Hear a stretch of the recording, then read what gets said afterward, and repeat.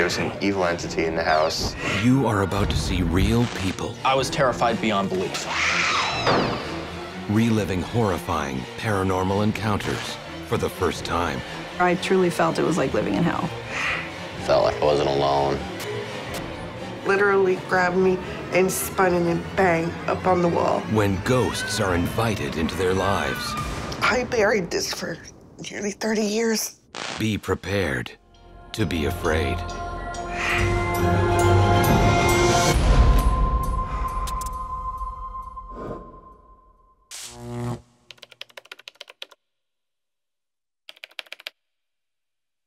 Take one.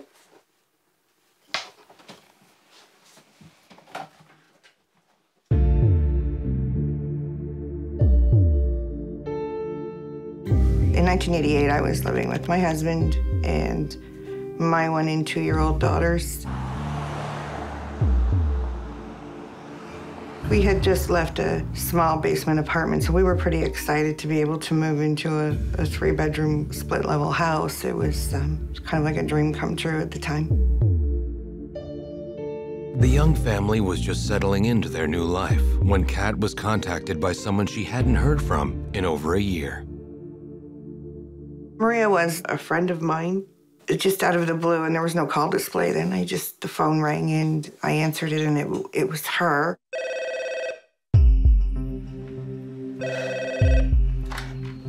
Huh? There was this hysterical person on the other end saying, I need your help. And what really got me was when she said, They're gonna kill us.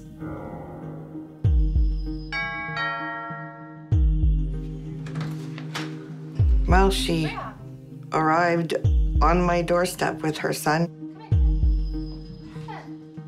She was a mess. She was disheveled. She was pale.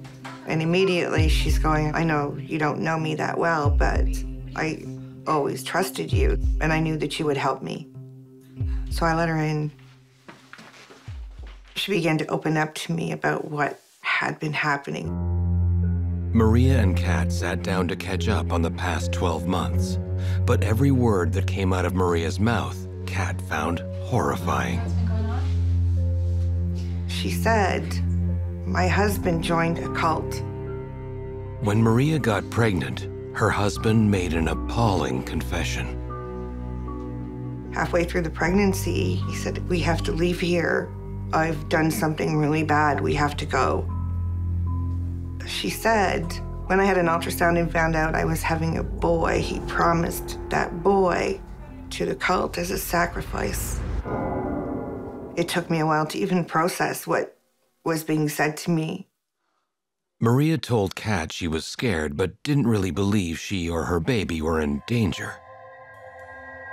All that changed at her husband's birthday party eight months earlier, just after the baby had been born. They had had a, a birthday party. And then she said, I remember hearing my sister screaming, and I'm realizing I'm drugged. He's drugged us. She said, there were these people in my apartment. And she said, I remember robes. I remember these black robes. And there was a fight, a physical altercation. She told me I get up. Finally, I can walk, but I'm still really dopey. And she goes, There's this knife in my kitchen sink covered in blood. She goes, And I don't know why, I just started washing this knife. She goes, And then I look over, and my husband's in this industrial garbage bag, and I can see his arm is over his head hanging out of the garbage bag. His throat had been cut from ear to ear, nearly decapitated him. And she said, I made it back to the couch and passed out. When she woke up, that garbage bag was gone. He was gone. And they found him in a field across from the apartment. She said, people at the funeral home, they're all trying to say, well, he committed suicide. No, he didn't. Maria's brutal tale did not finish with her husband's death. It was just the beginning. She began to tell me that shortly after the funeral, and actually someone called during the funeral and told her, it's not over. We're owed. That baby is ours. He was promised to us, and we want him. And I said, What have you involved me in? Despite her reservations, Kat felt she had no other option but to invite Maria and her son to move in. It would turn out to be the worst decision of her life. Had no clue what was being brought or, or entering my life or my my husband's life or most importantly the lives of my children. Usually people, when they get into the occult, there are attachments that will attach themselves to those individuals. And that individual spirit can move and manifest to another individual. Because you have to remember there's a different level of energy that's playing here, a different mindset that's playing here. And the mindset that I want to take over, the mindset that I want to empower, the mindset that I want to control. And they'll take that opportunity and they'll cause havoc with that person.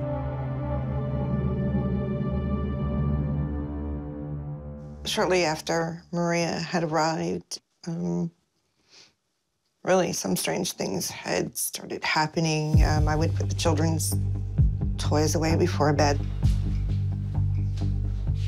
My husband would get up in the morning the toys would be all out of the chest.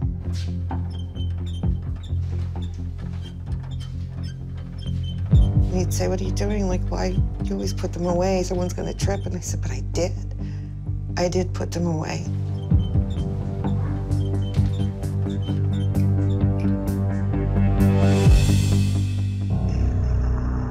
Life had been completely normal before Maria arrived. Kat now became convinced the strange events were linked to her friend. She feared that by taking Maria in, she had also invited in the spirit of Maria's dead husband. I had hung pictures that I liked. Some of them were very old pictures, I should tell you, so I loved them, but they would be off of the wall. Some of them were smashed on the floor, like someone had just walked by and, and hit them and knocked them off. But it's very painful, actually, was finding my wedding picture shredded. The glass was shattered, the picture is shredded.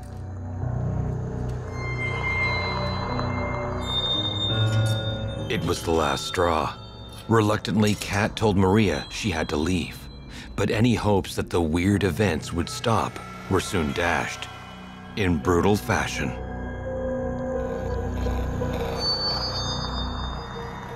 Smell arrived in my house. I was in the kitchen between dishes and I smelled this smell of rot, of decay. And all of a sudden, and I could feel my feet being pulled apart. This thing was going to have me.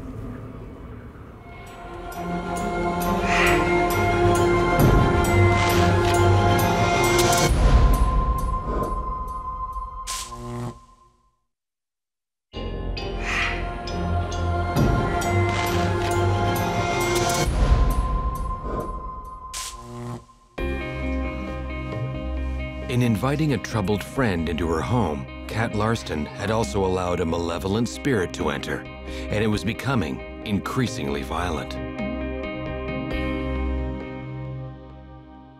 The smell arrived in my house. I was in the kitchen between dishes and I smelled this smell of rot, of decay. And all of a sudden,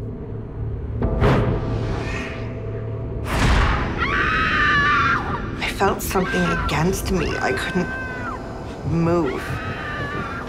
And I could feel my feet being pulled apart. This thing was going to have me.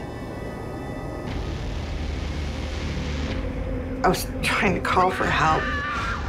and I couldn't move.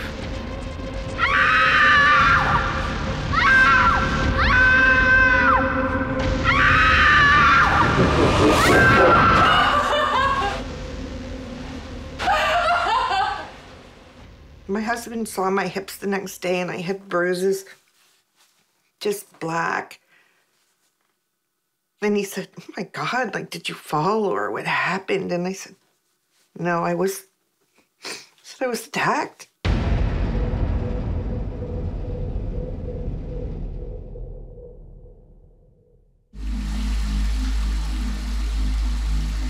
I just want to go have a bath. I just want to bathe. But for Kat, nowhere was safe.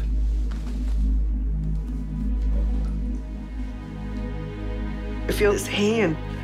It literally, the fingers were on either side of my tops of my ears, and it pushes me under the water.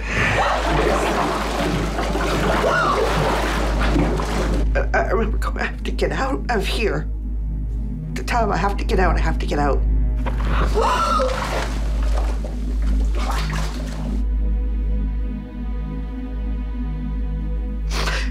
I'm gonna die. I'm gonna die here.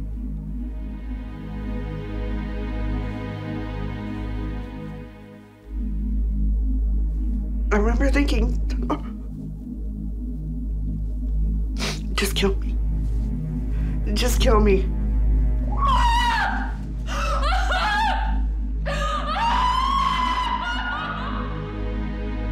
The attack stopped as suddenly as it started. Having just survived one of the most terrifying experiences of her life, Kat tried to block it out of her mind and move on.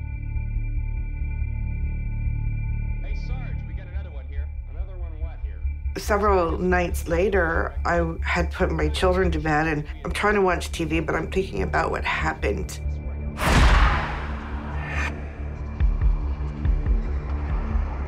Kat was confronted by an enormous shadow figure.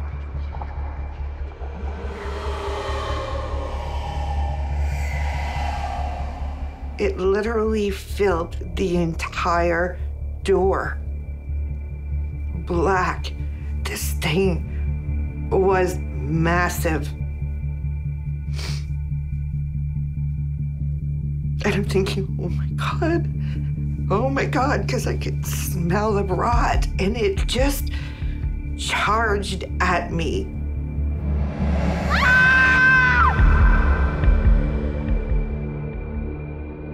Once again, just as Kat thought she could take no more, the attack suddenly stopped. With her husband away, Kat was terrified of being in the house with just her young daughters. She asked her mother to come over. My mom was coming over. Hi, how are you? And so I had this um, big floral picture I had put up, and I'm standing there talking to my mom, and it just flies off of the wall and smashes. And all of a sudden, something's got me. Literally grabbed me and spun and then bang up on the wall. And my feet come up off the floor, and the nail where the picture is hung, I'm slammed against the wall and it's pulling me down, and the nail is gouging my back, and my mom is screaming, What's happening? What's happening? What's going on? And I said, It's gonna kill me. I was just sobbing. I I just said, It's gonna kill me. You have to go. Take the girls. I said, just go, just go. It's, it doesn't want you. It wants me.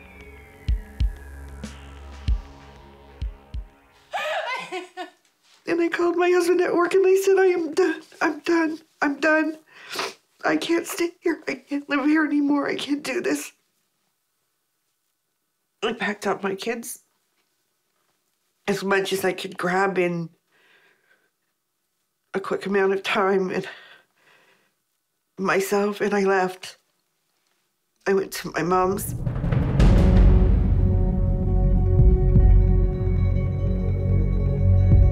I did call Maria's dad and I said, I need to talk to her. There's more to this. I need to talk to her. And her dad goes, So, you know, this is it. I mean, after today, don't come back. If you come back, what's been happening to you will get worse. When that individual finds out the person it, it came from, where the initial um, entry point came in their lives, when they confront that person, they're technically confronting the entity at the same time because that attachment is feeding off them. I don't even recognize the face on this girl, and she's wringing her hands. I said, I'll always love you, but I can't ever see you again. They said, please. Before he kills one of my kids, please. This is your problem. I said, you know, you should have never brought this to my home, to me.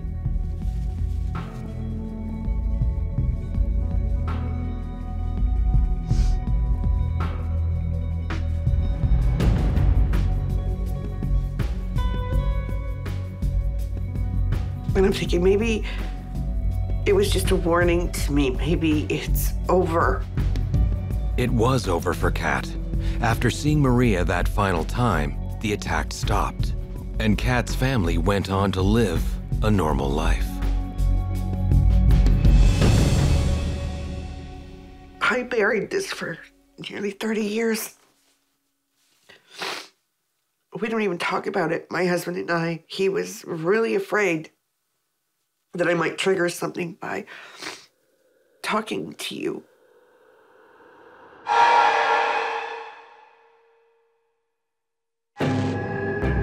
Invitations to entities from the dark side are not easily revoked. Once a door is opened, the spirit world has a habit of sticking around.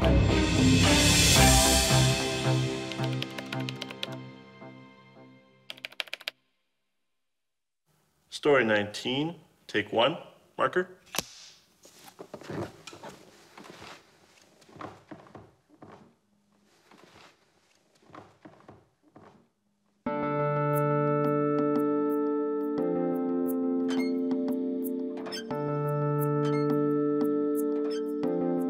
After struggling with some health issues, Dustin Terry had been looking for a new and cheaper apartment for him and his son Austin to move into. What attracted me to the building was the location. It was listed and it was fairly cheap in the paper, so I decided to call and check on it. The building looked like your older classic uh, brick building with the old iron gate. It still had the old wood that used to be the outside of the um, siding. You know, it's kind of like stepping back in history almost. I did not take my son with me to see the place at all. He actually just kind of got a surprise one day. He thought it was cool because it was so close to Grandma, my mom. Yeah, it's less than a five-minute walk for him in a nice area. I was hoping in this new place for a fresh start, basically.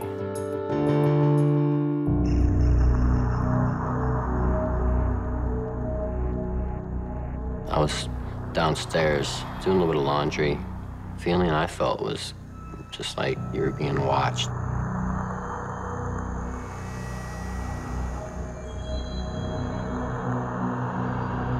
I just blew it off as no big thing.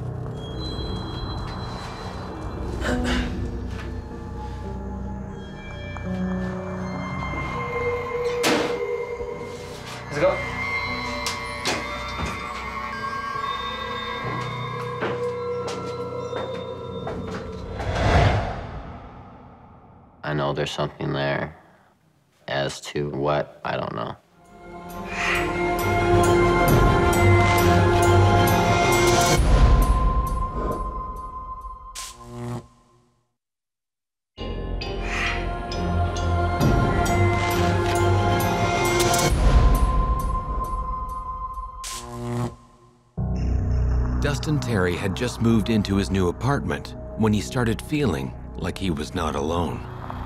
I was downstairs doing a little bit of laundry. The feeling I felt was just like you were being watched.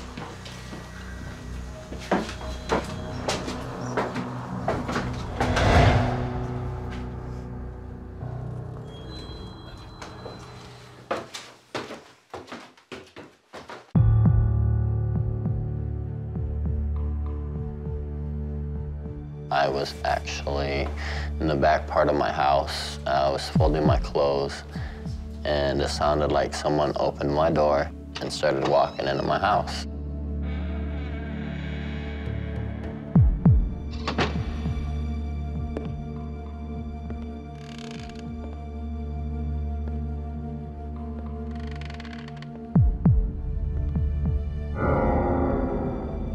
When I looked and seen no one there, it was mainly confused. There's just no way to explain it, really.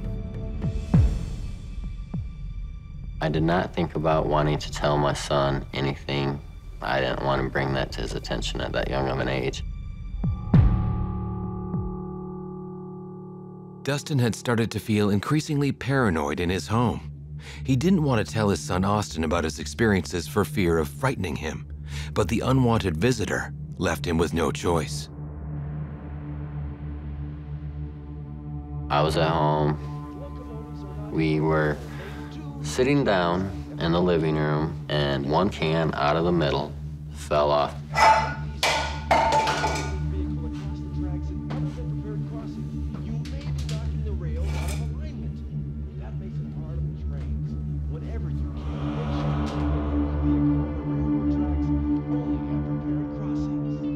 And I'm like, okay, it's nothing.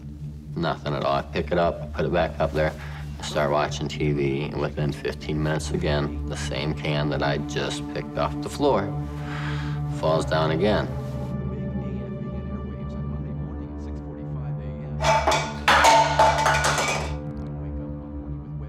I was still confused. I still didn't want to admit it because I was still along the lines of these are older apartments. I was like, no, it's got to be something that's very explainable. It's, it just has to be. When uh, spirits do things like pushing cans off the shelf repeatedly, the same thing, or open a door, the same thing, it's their sense of letting them know, letting the physical people know, I'm still here, I still exist, and that their process is, I still can do these things.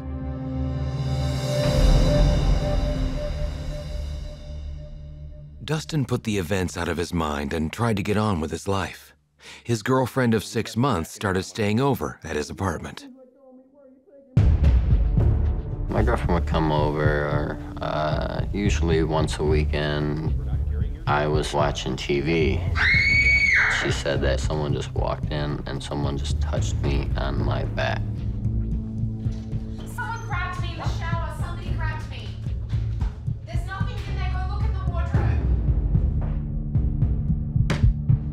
So now it's starting to get physical, and now I know I have a major problem on my hands.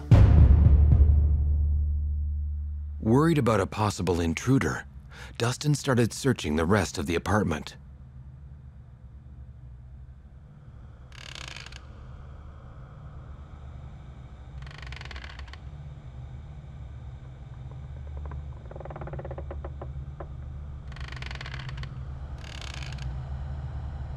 She said it was just kind of eerie, odd. She just felt a presence, like someone was standing behind her, and she didn't seem too comfortable at that point in time.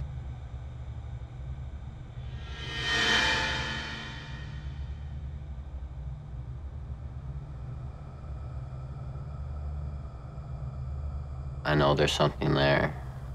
As to what, I don't know.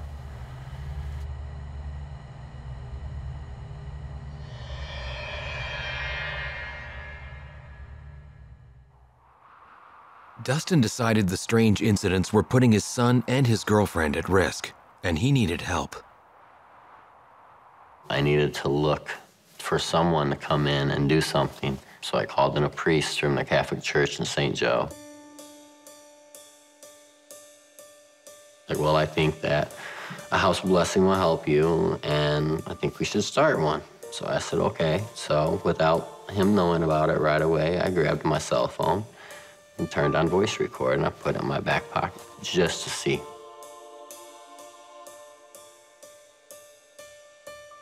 He starts with a couple of prayers and he's reading from the scriptures as he walks through and he does the holy water routine in every room. We get back towards the back area and I noticed when he got back there, he was a little bit hesitant. I kind of monitored when they did leave that they were still pretty much looking around quite a bit. It wasn't like I had his 100% attention. It's like something else had his attention on the side.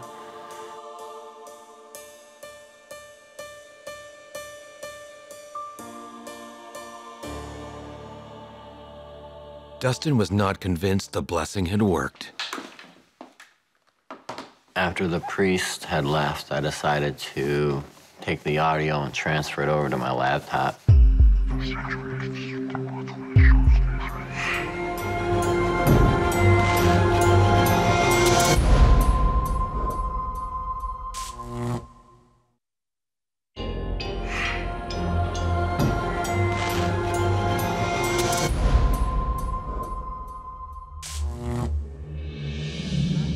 Dustin Terry and his young son, Austin, had moved into a new apartment, but so far, it had not been a happy home.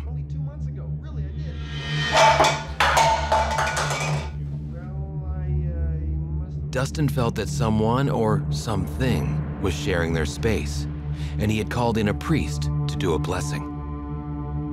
After the priest had left, I decided to take the audio and transfer it over to my laptop.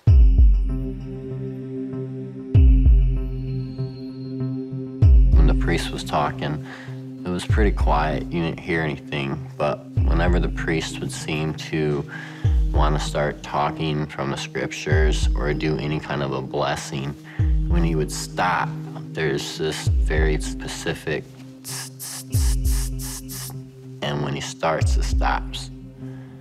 And the minute he stops, it starts back up again. In the name of the Father,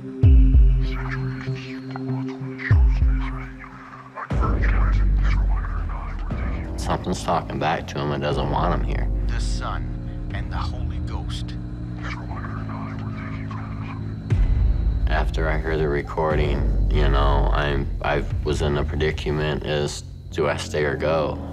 I'm very tired of not feeling comfortable, uh, tired of not knowing if my kid's gonna be all right in the middle of the night or if he has seen more and he's just not telling me because I don't think that's a very good environment for a 12 year old. It didn't take long for Dustin's doubts about the blessing to be proved correct. One day, me and my son were coming up out of the basement from the laundry room.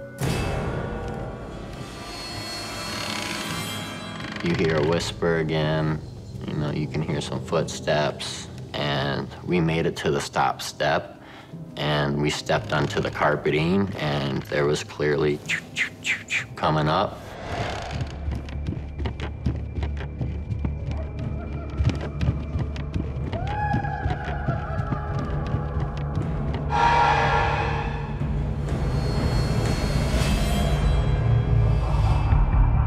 I didn't want to tell him anything. I just said, let's go.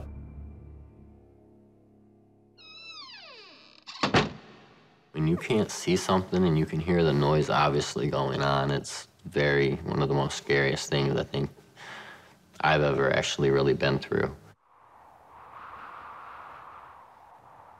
After the footsteps and everything going on, I knew I needed to look for someone to come in and do something. So I reached out to Lori to the Paranormal Society. I could tell in his voice that he was scared, and it, it was a very disturbing experience that he had been having. But the more people that I talked to and found out that I'm not the only one that was having these experiences, Lori and her team started an investigation into the apartment building and spoke with Dustin's neighbors.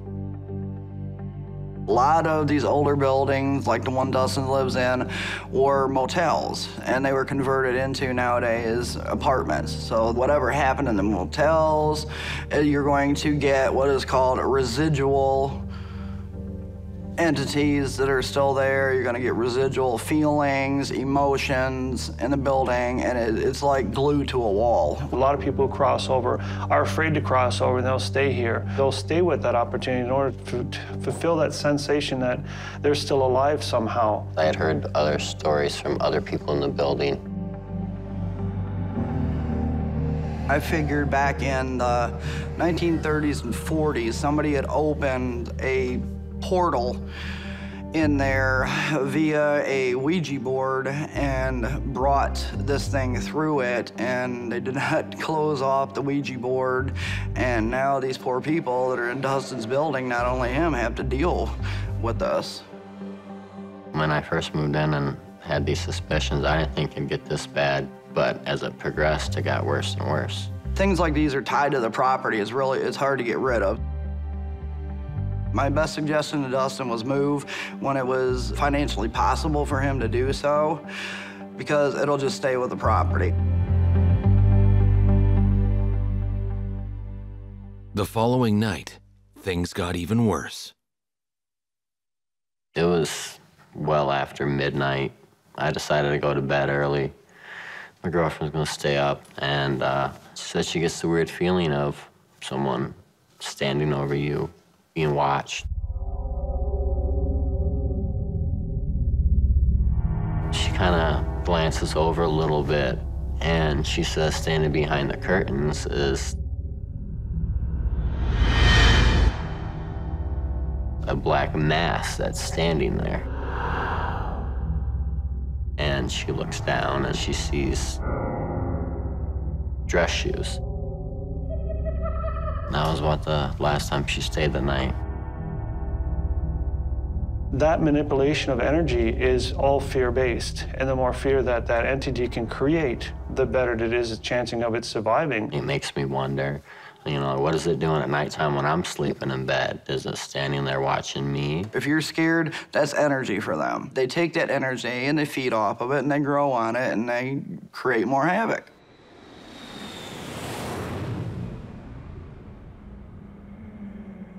Two days later, I could hear the sound again of somebody walk through, but this time I'm able to, to see that direction. And I can hear woman walk through my house, walk through my living room, and walk into my bathroom, and it walks back out. And instead of hearing a normal close of a door, it's like someone slammed the door.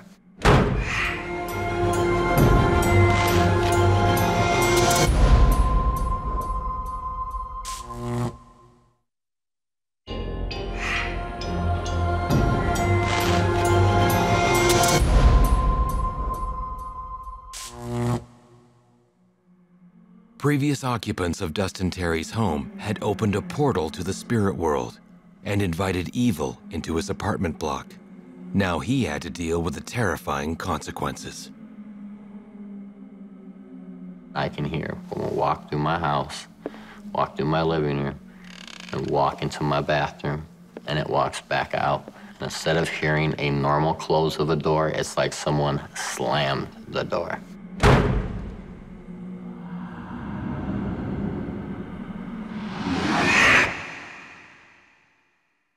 I was done.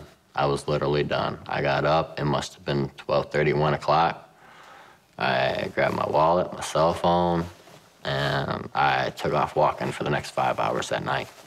Now I don't stay at home unless either my son comes over or my girlfriend comes over. I refuse to stay the night in my house alone.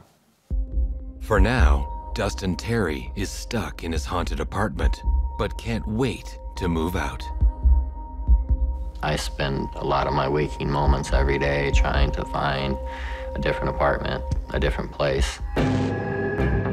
Whether spirits are invited into a property through people meddling with the occult or by simple accident, the results can be equally devastating and can affect the victims for years afterward.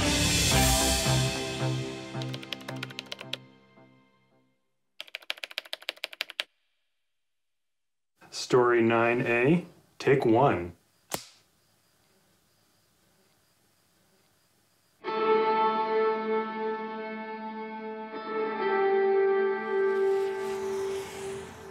I had just moved to Lansing. I transferred from, for work, I transferred from our Detroit office. Nathan was my boss, and uh, we just clicked very well. We started dating just a couple months after we met. A month later, I ended up pregnant.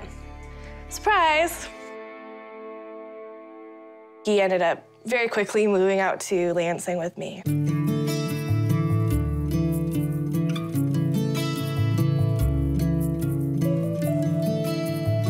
Got the house together, and I'm a stay at home mom, so it's important for me to find a house that I feel comfortable in. The house was, it was cute, small house. Four bedrooms, perfect for myself, Nathan, and, you know, Adam, who's one. He liked the house because he had the room to run around and, you know, he had a pretty good sized yard for him.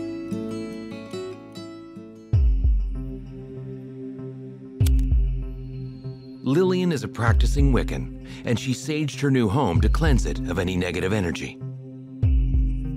Being a Wiccan and being a witch, you have to protect yourself. You have to protect your family. She would go around the house with it kind of smoldering, and she would have a prayer that she would say. When someone cleanses their house with sage, they're going from room to room to sweeping out the rooms to removing the cobwebs of negative energy. That intention is very powerful, very strong. She knew I came from a Christian background. I was, I guess you would say, typical close-minded, you know, about those types of things. And it just always seemed real cheesy to me. Adam started seeing um, a little boy. Got him up. You know, he started complaining about it, like, you know, he's just out there and he's watching me.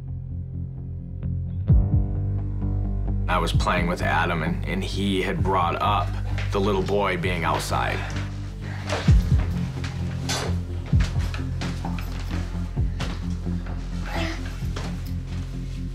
I knew it wasn't a little boy because our neighbors didn't have little boy children, and our house was kind of far off of the road, so there was really no way.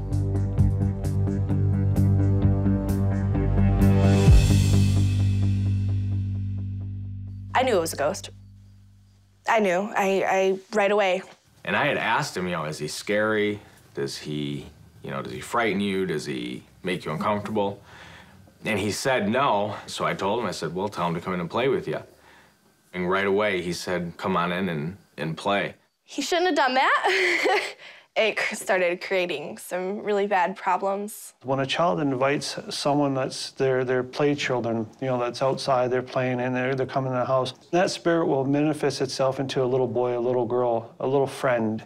And sooner or later, this, that entity will start ostracizing against the mother and the father.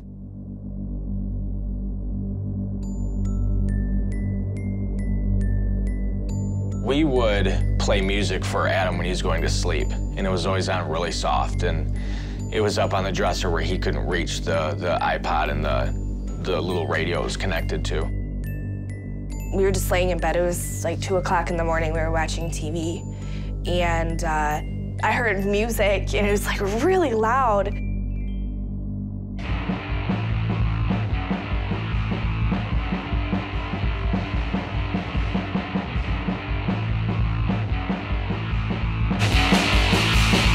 We had a certain playlist for him, and it would jump off of the playlist into the song, into the artists, go down to a specific artist and play a certain song.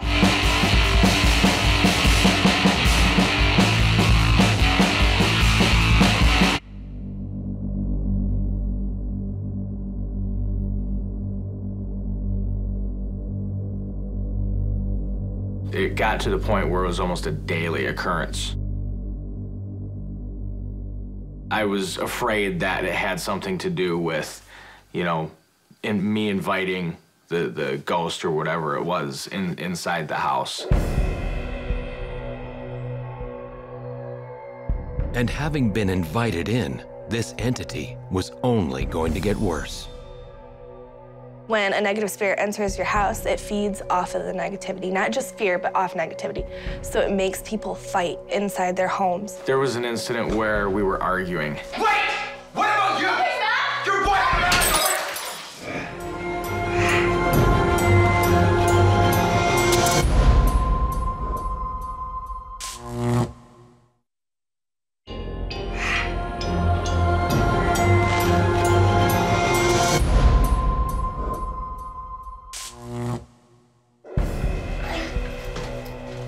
Nathan Tegardine had inadvertently invited a ghost child into his family's home. His wife Lillian knew immediately that he had made a huge mistake.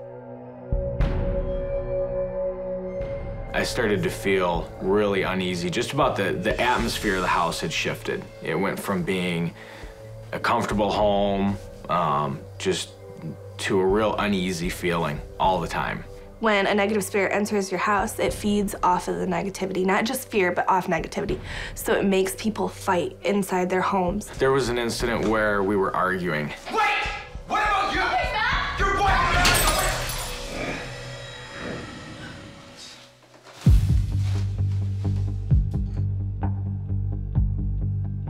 It's just something that, again, you can't explain. There was nobody in that direction where the mirror even came from, and neither of us owned that mirror.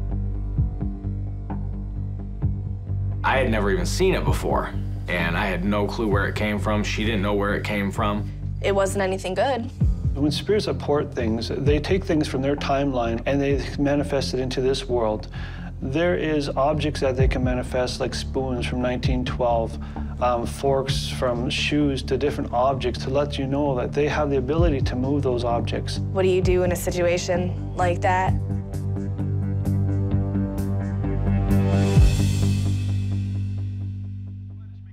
The frightening events were putting an increasing strain on Lillian and Nathan's relationship. We were laying down watching TV, and I felt a knock from underneath the bed. And at first, I, I thought it was my imagination because it was a pretty hard hit.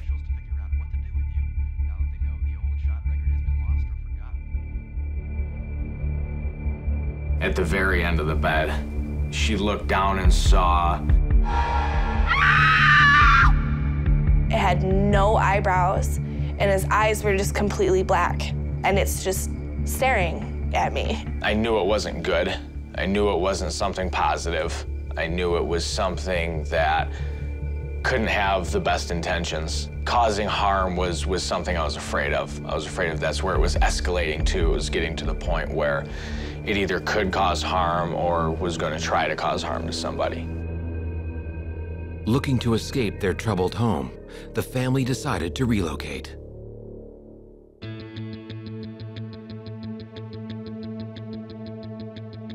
So we ended up moving into uh, a house in Eaton Rapids with another addition to our family, our uh, second son, Caden. It was beautiful. My aunt actually owned it, and we were renting from her. And this was a house that Lily had talked about wanting to live in since we got together. Five bedroom, fenced in backyard, perfect for the kids. So I was really excited. I was pretty confident that that it hadn't followed us. Whatever whatever it was was staying, you know, staying put. Nathan could not have been more wrong. Having been invited to join their family, the evil that had been plaguing them started up again.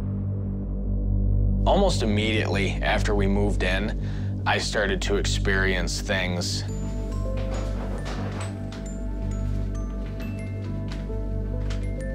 we wanted our younger son, you know, closest to us. His bedroom was right across from ours on the on the upper level.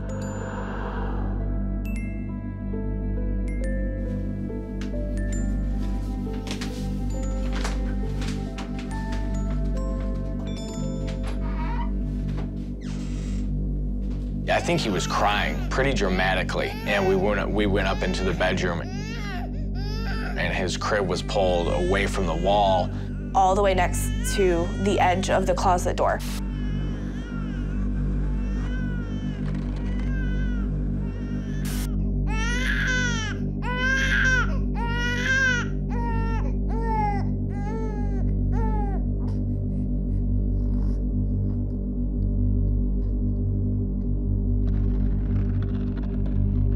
Didn't matter where I put his crib in the room, it would be dragged towards the closet door.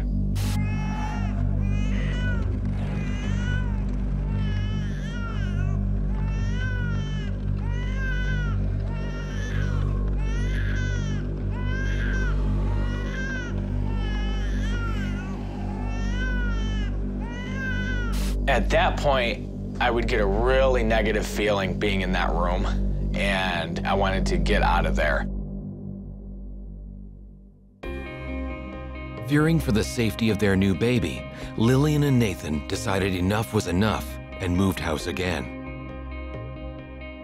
Within a week, I found a house, I put a down payment. We were, we were set to move. It really was hard to have to move out because I, I really did want that house. Since all of that happened, I'm not skeptical at all when it comes to paranormal experiences.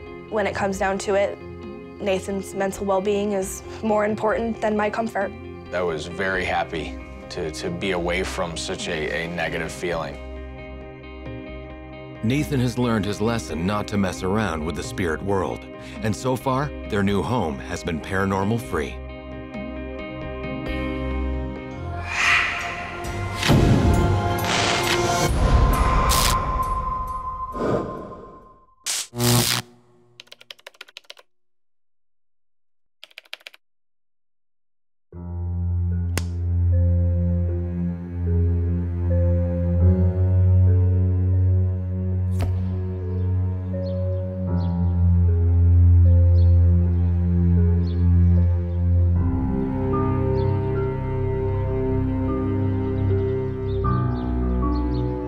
Was 13. I was having some troubles in school, uh, some family issues. And uh, my parents decided that I should probably move to another place to maybe get a fresh start. And uh, that way I could work harder at school and pay more attention to things that were important to my future.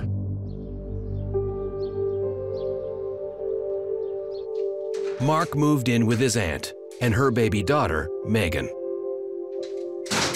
It was a move that would change his life forever. It's encompassed my whole life for a very long time, almost 23 years, in some way, shape, or form. And it's shown me that there are things out there that me or you or anybody um, cannot account for. These things are real. From the very beginning of his stay, Mark got a bad feeling about the house. It was a ranch style home. Um, it was dated back to the late 1800s. It used to have a basement. One of the um, walls had actually been boarded up to what I believe was a root cellar. So, just my first impression moving into the home was that this is very old and this place is kind of weird the way it's situated on the street. 200 feet from the house next to it, which was a very large old home, uh, Victorian style.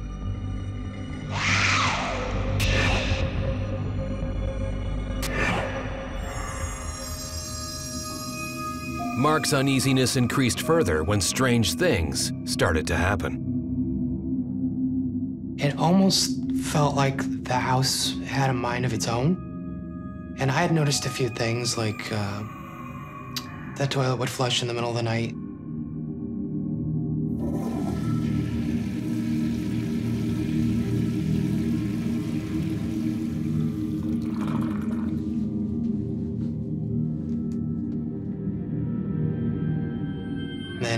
Be up. Lights would come on by themselves sometimes. Heavy wooden doors would open and close on their own. Um, at night, a few times I'd heard my door rattle, uh, my doorknob rattle.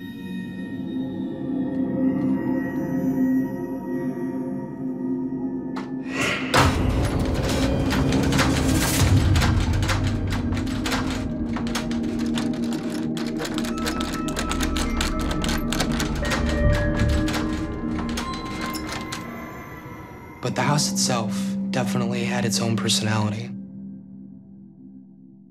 Young children, uh, adolescents, are very vulnerable to spirits because they're closer to the spirit world. They're not taught yet to dissociate and discern everything that comes to them. They take everything as it is and they see that. And because of that innocence, it's a lot easier for them to connect with that. kids have a lot of energy in general, but it's some of the kids that have so much energy they don't know what to do with it. That energy sometimes spews out and can create what we call the poltergeist anomaly. Mark was soon going to learn all about the destructive power of poltergeist energy. It was a Saturday evening, Just going out for a little bit. which was not unusual, You be good tonight, okay? and uh, I was left to babysit uh, Meg. And um, again, not an unusual thing, was completely comfortable with it.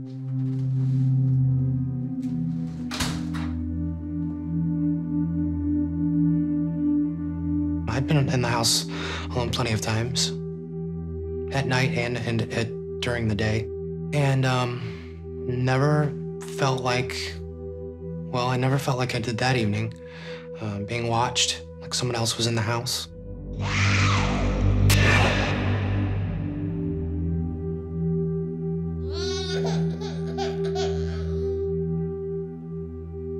Meg was uh, about 18 months, so just under two years.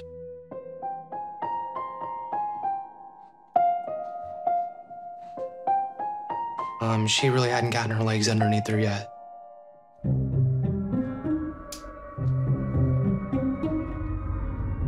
But this evening, I had heard a knock on her back door.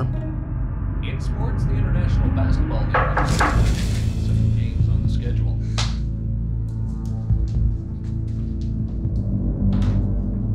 Hey. I just happened to uh, know this particular officer that was working that night, a friend of the family. And he said that they had gotten a report or a phone call through dispatch that we were having a party um, in the house. Now, again, I'm the only one there um, with Meg, who was sound asleep in her crib. And he came in, he took a look around. Because I knew that the officer, he said, yeah, it came from next door. The Victorian next to us. And I had never seen anyone come in or out of that house. We just always assumed that it was purchased, bought, and abandoned. I remember coming home every day from school and there were newspapers on the front porch that were always being delivered, and the mailbox was overflowing with mail. And there's no way there could have been a phone call come from inside that house. There's just no way.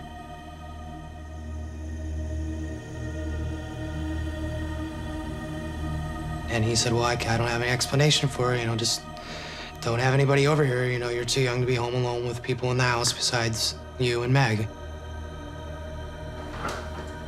After the officer left, Meg started to cry. So obviously, I went inside the room. I figured she had just dropped her bottle.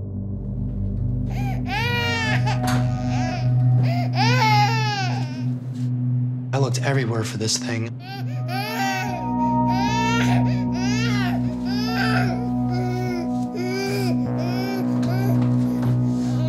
And I went back into the kitchen and made her a bottle. And when I came back in the room, there was the bottle that I had been looking for sitting right in front of her crib on the floor where I would have been standing.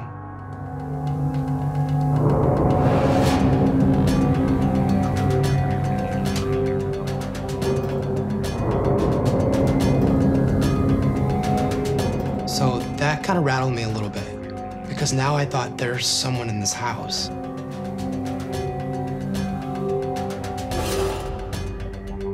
So now I was a, I was a bit scared. So um, I gave her the bottle.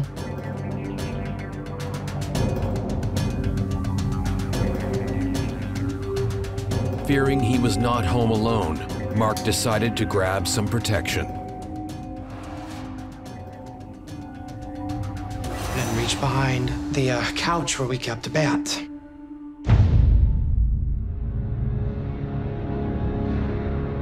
It was kind of our last defense, our home security, so to speak.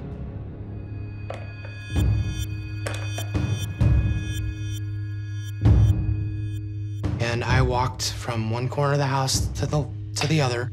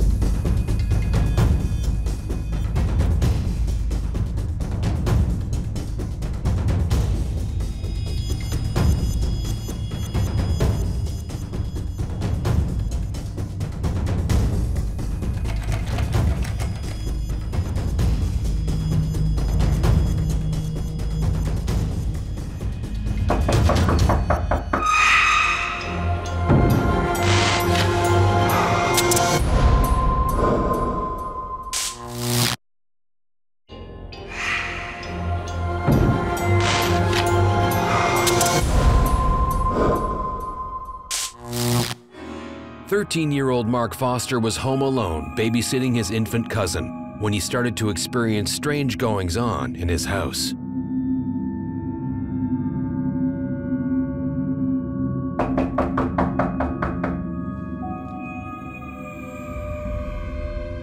So when the knock came to the door, I hit the ceiling.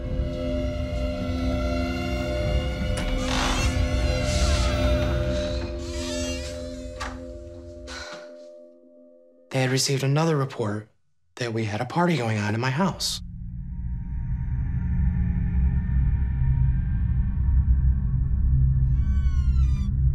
Checked everything out again, made sure that I wasn't lying, and that's when I told him everything that was going on in the house. You're the only one in here. Honestly, he looked at me like, I know he's not lying to me. And um, he put his arm around my shoulder and he said, You know what? You just hold tight. He decided to go and find my aunt um, to let her know that she needed to come home. As soon as Mark was alone, the strange activity plaguing his cousin started again. But now, it was getting stronger. When I peeked in on her, she wasn't crying, um, but she was standing straight up in her bed.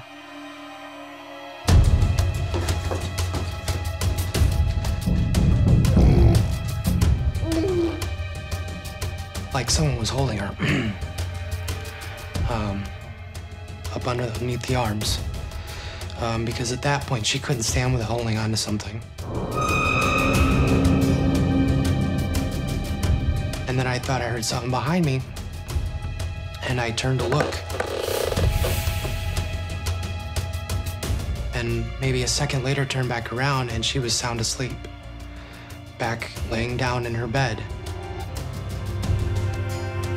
Then the strange activity began to increase. The tea kettle went off, full blast.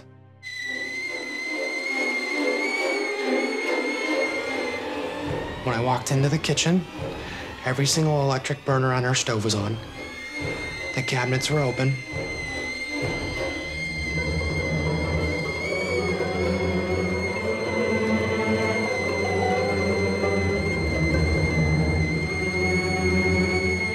The teacups that she never used, fine china, on their plates, as if someone was coming for tea.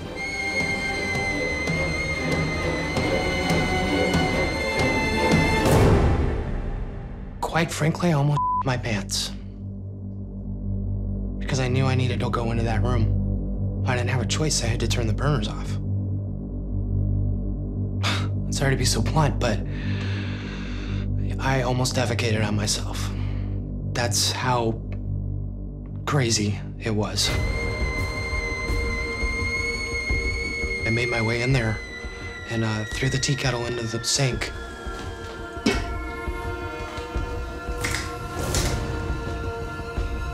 Instinctively, Mark rushed back to protect his cousin. But whatever was in Mark's house had other ideas. Went to step through the doorway, and I was physically picked up and thrown backwards through the door.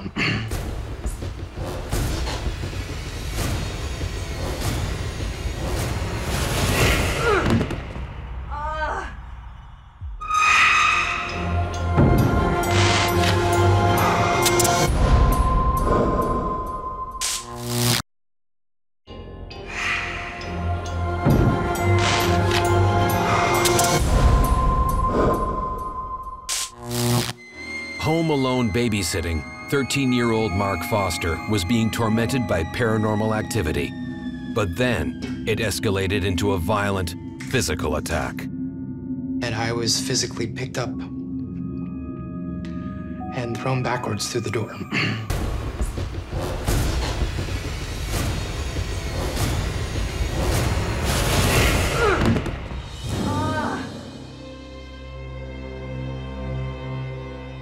and uh, I still have the scar to prove it.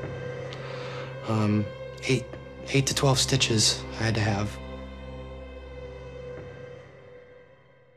spirits and ghosts are two different things, right? Spirits are someone that cross over, come back. Ghosts are someone that are here stuck. Poltergeist anomaly are built of energy, built of energy of fear, fear based. And now that fear based, it grows from that. It grows from energy from children. And from that, it can be actually manipulated into actually be a physical form and actually act out to harm somebody. It's the fear that really creates the, the anomaly, that poltergeist that's there. Stunned and bleeding, Mark was afraid that his cousin had been attacked too.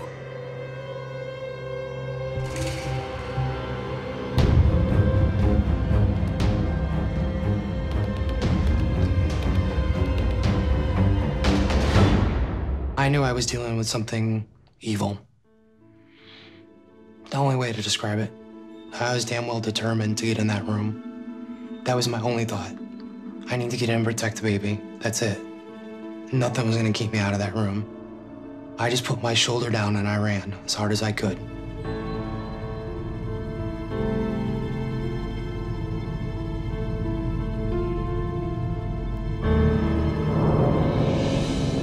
I grabbed her out of her crib, um, walked back through the doorway into the living room, and um, sat down on the couch and just waited. And um, I was still bleeding.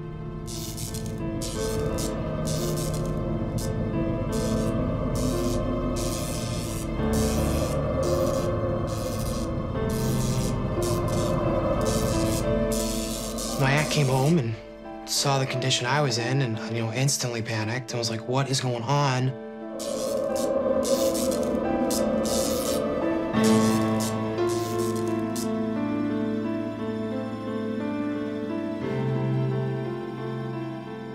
And I told her everything that happened.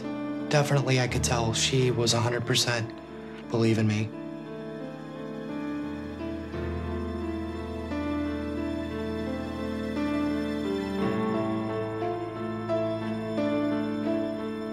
Well, it's sort of like whatever it was that I told you, I got you. That's the way I felt afterwards. I got you. Now you know. Now you know that I'm here. And we got you. A spirit or a ghost may want to try to kill someone just because they still either hold a grudge towards that person that they knew in life, or because they're just a very violent, negative, possibly even demonic type spirit.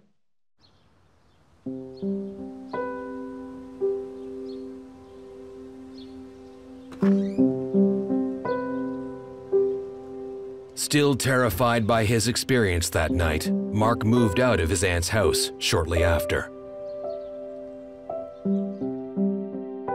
I became very introverted after I came back to Chicago. Um, mostly because I had lost a connection um, with not just my family, but I think a little bit of myself. Um, I was still kind of dealing with the results of my attack. Um, so I didn't really talk to anybody.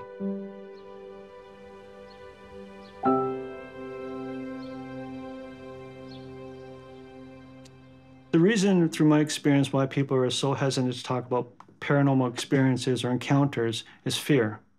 That's it, fear. Their fear of being ridiculed by people, or fear of somebody not believing them, or fear of not knowing what to do.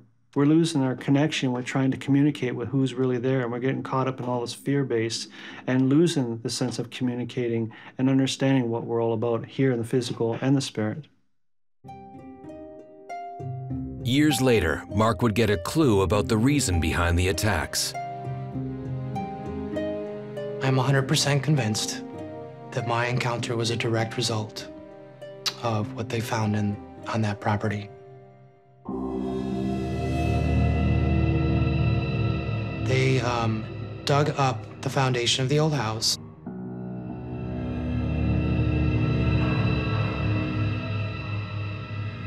They uncovered a tunnel that led from the Victorian next door to the house that we lived in. And when they knocked down some of the brick, they found the human skeletal remains of what appeared to be a family.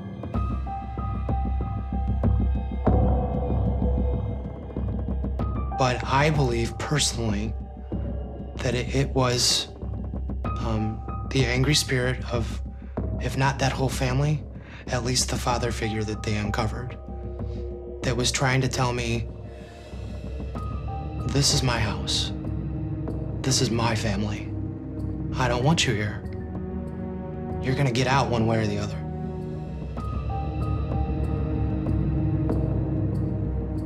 I wouldn't want anything that ever happened to me to happen to anyone, even my worst enemy. Not in a million years.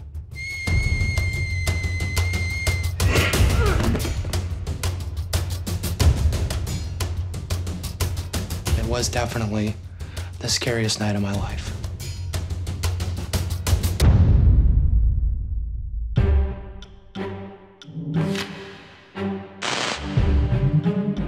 Tormented by spirits for one night is bad enough. But for some children, the terror goes on and on.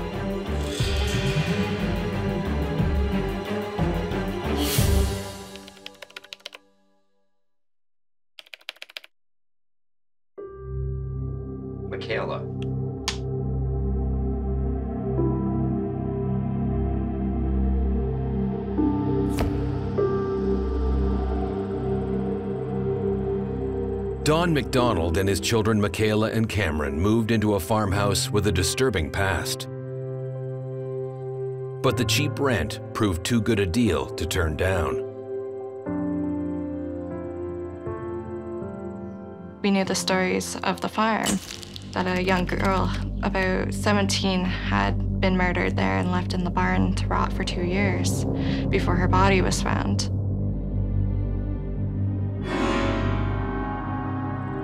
What started the search was after um, the owner of the time had gotten in a fight with his roommate or a tenant, and um, well, the one guy ended up dying, and then the police were called. I think there was more to the murders than what they said. There's the possibility of bodies still existing on the property, what we were told.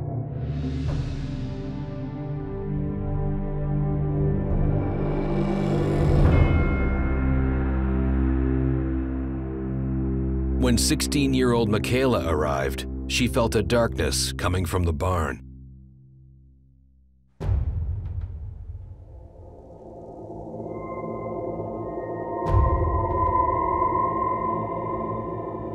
Landlord had told us that the previous owners had moved out really quick, didn't even give um, a notification that they were leaving, and left everything there. Left real quick without him even knowing, so he's wasn't sure what happened.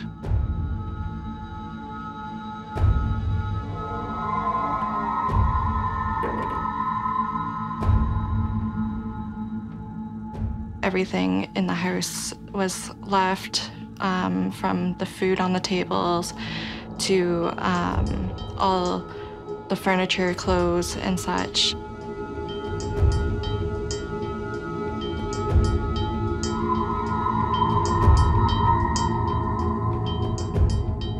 Creepy. Very creepy. Kind of like a chill going up your spine kind of thing. Like you're being watched.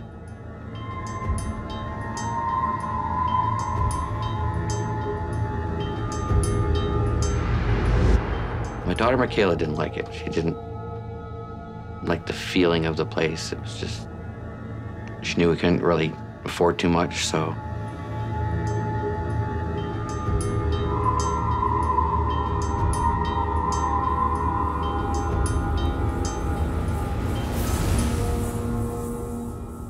Children can tend to attract paranormal activity just because they are more open to spirit, and it's easy for spirit to interact with them.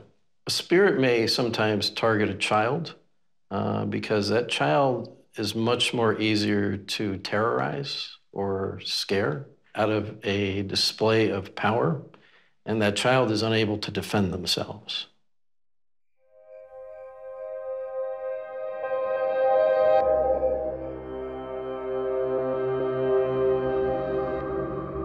The family settled into their new home as best they could. The oppressive atmosphere bothered them, but nothing untoward happened at first. I believe it was a few months after we were there, you'd hear these really loud um, bangs. Police have a suspect in custody, but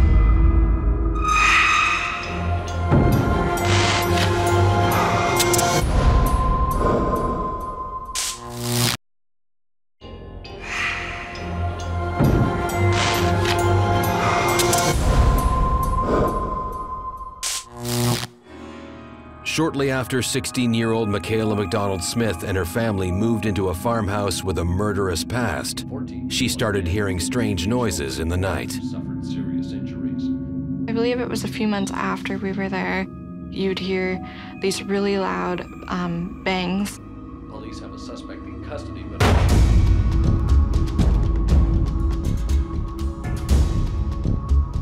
There was times where you could just tell it was footsteps running on the stairs back and forth. Footsteps, like the sound of someone with work boots on walking up the stairs and to the hallway.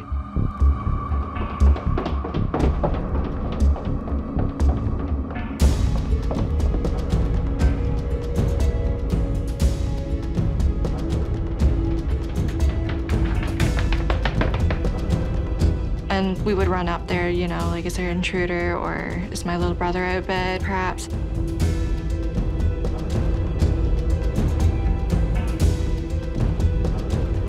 But it was, there was never anyone there. Some of the early signs of haunting can be things like lights flickering, uh, doors opening or closing. Um, different things like that could happen because that's what a spirit has the energy to be able to do.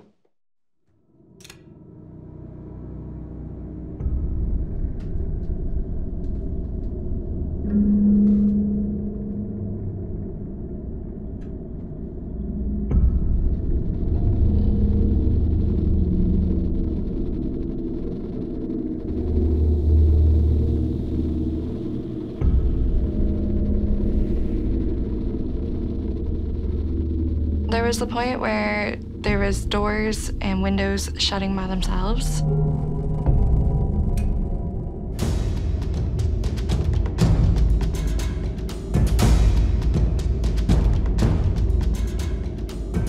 We always had problems with the lights always turning on and off. Turned on the light and the light just turned off on you. And it's like, okay.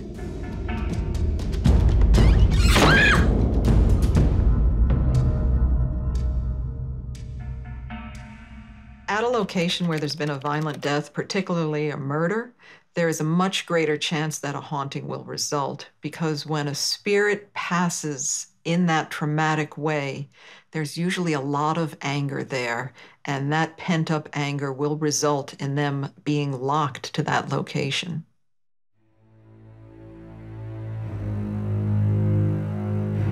Sometimes, because I work late at night,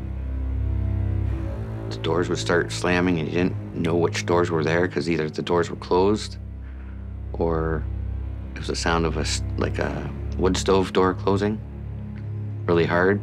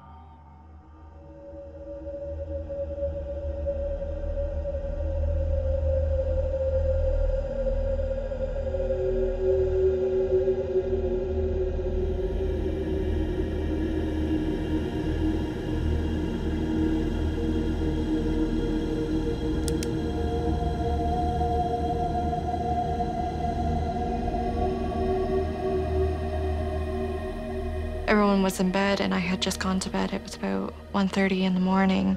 And I just had that feeling to look over in the corner of my room.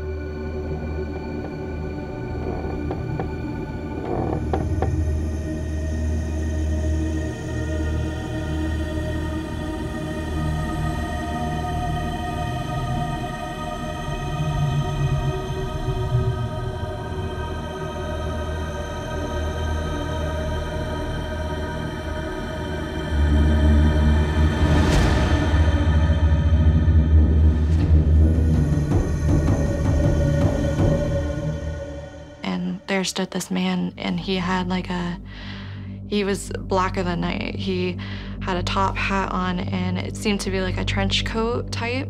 So back like in the olden days they used to wear their long coats.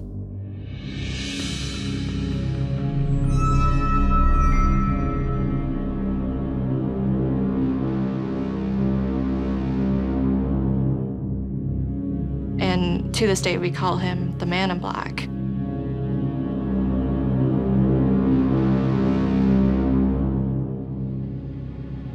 It stood there for a few minutes, and I was too scared to move. And then it just took off uh, outside of my door. Really scared me and had me starting to believe that this place was really, really haunted.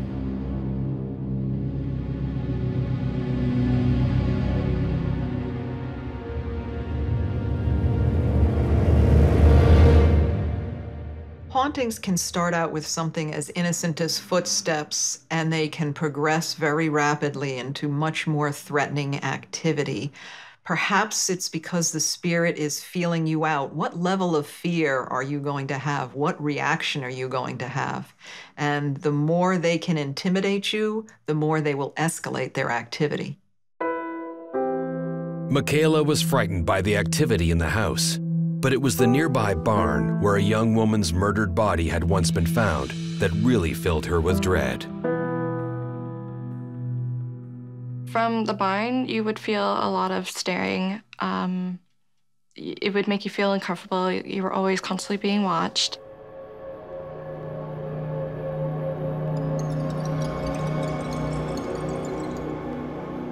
Whenever you were near windows, especially in the kitchen, which was a great view to the barn, you would see fragments of shadows.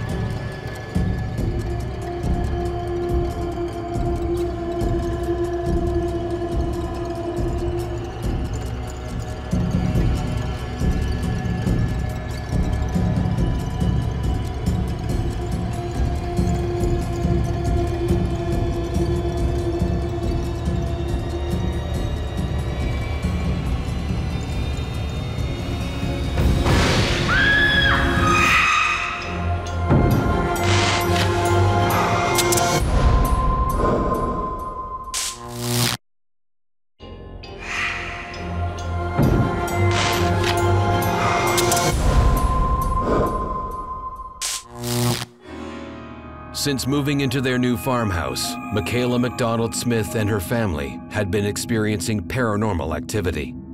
Then one night while standing in her kitchen, Michaela had the strange feeling she was being watched from the barn.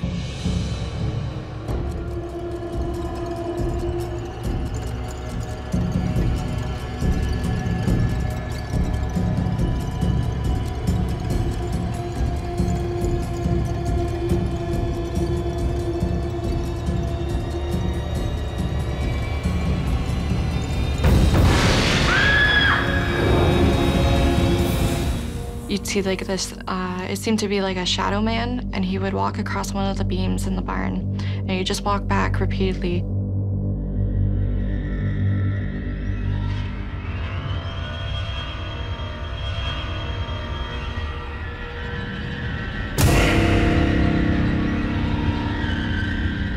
The one that was in the barn was always negative. He, he seemed always angry.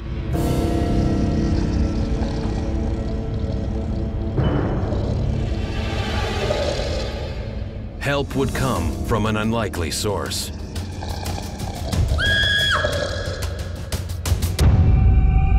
When he was threatening her, the spirit she called the man in black would show up and step in front of her and kind of protect her from him.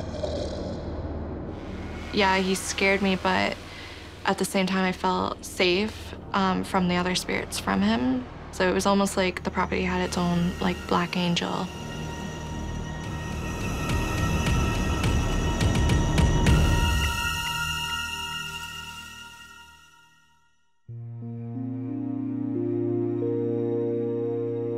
But the man in black couldn't protect Michaela and Don from what was yet to come. When I turned 17, my dad had thrown a birthday party for me. And I had brought a bunch of my friends from my new school. We had the fire, roasted some marshmallows, and we're all hanging outside. And um, everyone had started to have a bad headache.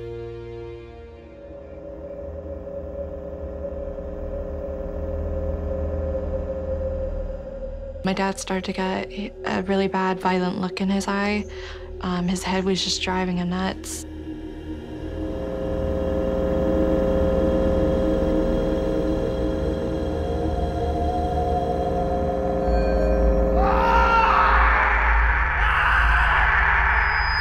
And then I, all you heard was the screaming outside, and we thought someone was in the forest. No one knew what to do. We didn't know if it was a real person. So my dad went out to the forest, and uh, this was the first time anyone's gone to the forest at night.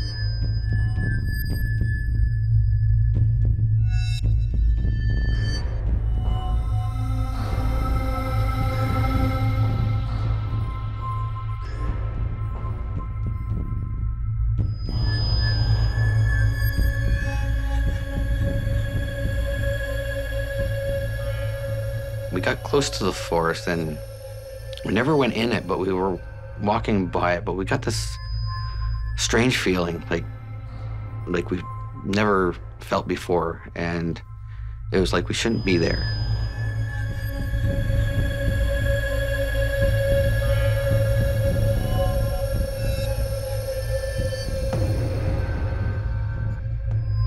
And we just had to stop and we just looked at each other like, okay, do you feel that?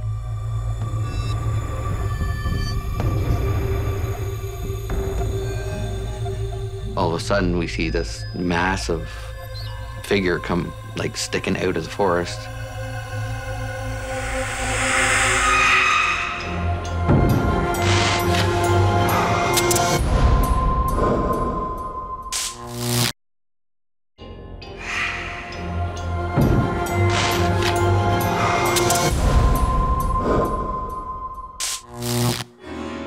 Her 17th birthday party, Michaela McDonald Smith and her friends were startled when they heard strange sounds coming from a nearby forest. Her father, Don, left the group to investigate the source of the screaming. All of a sudden, we see this massive figure come, like, sticking out of the forest, and it just scared the scared us completely. And we're just like, yeah, okay, we're done. We're running.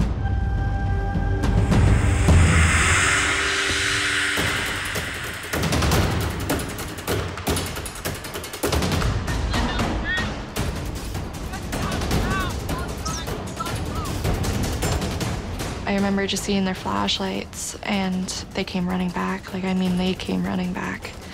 And I don't think I've ever seen my dad so scared.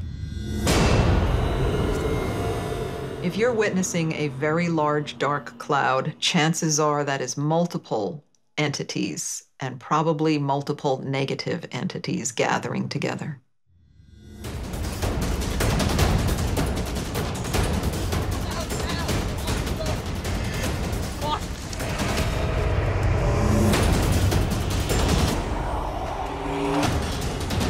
That, yeah, that thing in the forest was probably the number one most scariest thing I've ever had to deal with so far. I would say this thing was like, it was taller than us, it was bigger, it was I couldn't even describe what the, like, kind of a shape it was. The advice I would give somebody who's experiencing violent activity from a spirit would be to contact a local paranormal team to try to get assistance. Shaken by his experience, Don called in a team of paranormal investigators. The psychic and the lead investigator, Michaela, went to the barn.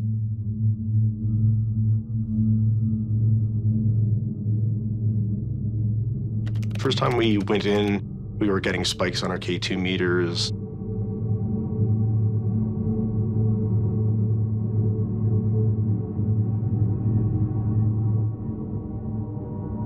At one point, um, a team member, Brad, a medium psychic, he picked up on a male spirit who I believe he said was the male who was murdered at the farm. And then as we were moving around, he picked up on another spirit, female spirit.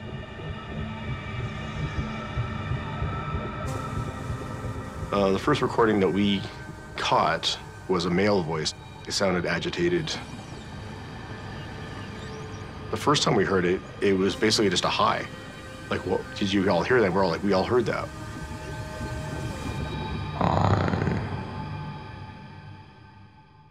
When we all walked in there, no one wanted to be in there. It was hard to breathe. My teeth were like clenched automatically, they hurt.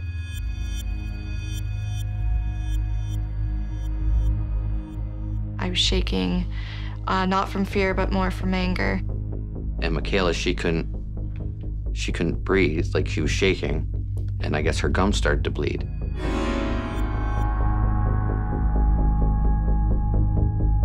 I had to walk out of the barn.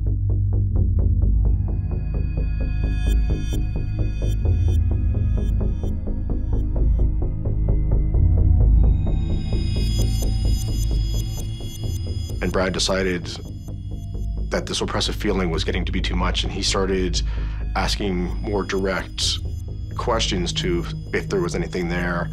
And he was trying to basically get a response back. And at one point, he started choking. He felt he was being choked out.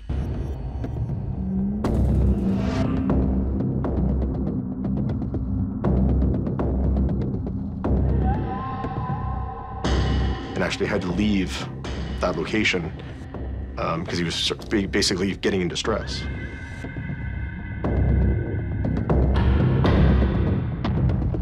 And when I was in the barn by myself, I had what sounded like footsteps circling me in the stone. It's a stone floor. So there was something of a heavy weight walking around my, walking around me and making the noise. I had stones thrown at me from inside.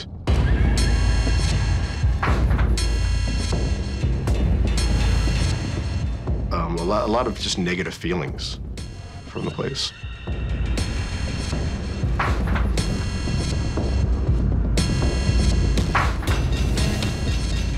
I just pretty much didn't like the feeling in there and left.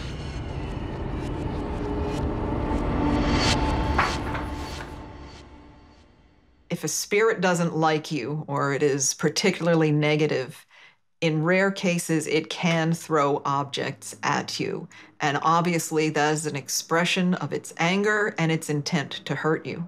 And that takes an awful lot of energy, usually a lot of negative energy, to propel something through the air like that.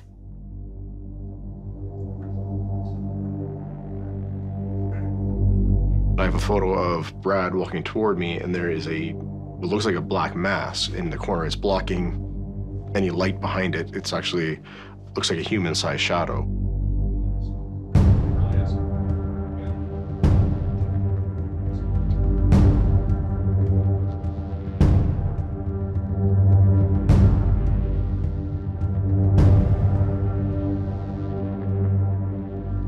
brought the evidence back, I think for them, it was more of a reassurance. They felt justified, vindicated, like, yes, you guys got something, so it's, it's real.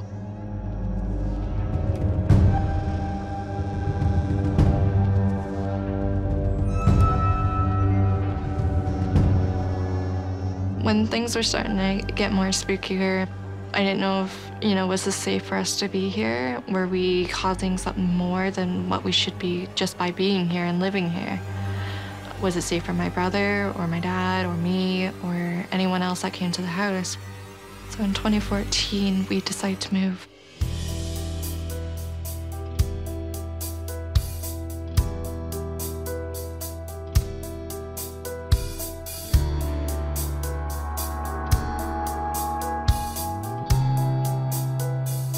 I think there was a lot that happened in that barn um, that a lot of people will not know or will ever know.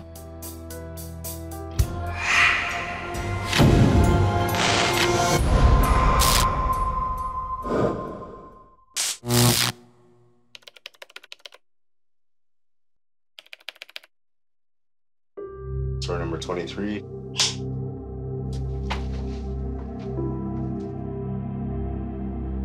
House that we lived in, there was a lot of paranormal activity. My family had experiences in that house. I can't speak for them, but I think just because I was sensitive, I picked up on more of it. What I felt about the basement growing up was always fear. At one point in time, my family had it refinished, and they considered it a playroom, but I never liked it. I was never comfortable there.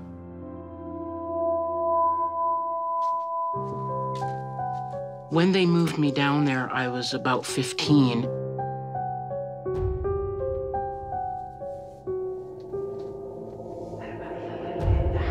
And I would hear voices in the back room.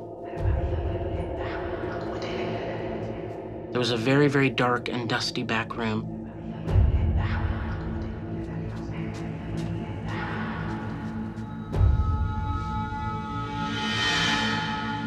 And no one was there. I would hear voices coming from the vents. I remember thinking, is there a party going on or something like that? Other times it was like wailing, like sounds of like someone was in pain or crying. I couldn't tell you if the voices were male or female, and I never could distinguish the words that they were saying.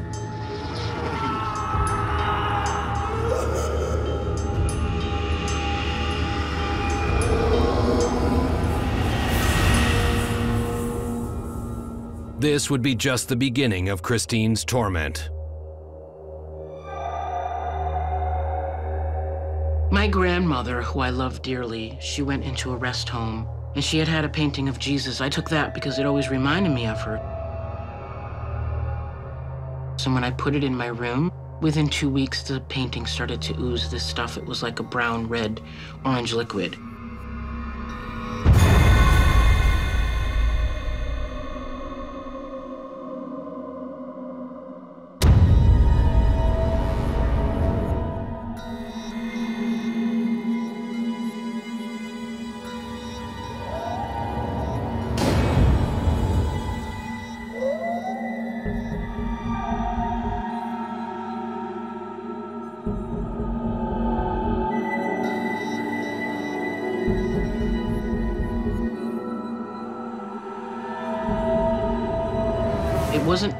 From the frame, it was coming from the actual painting.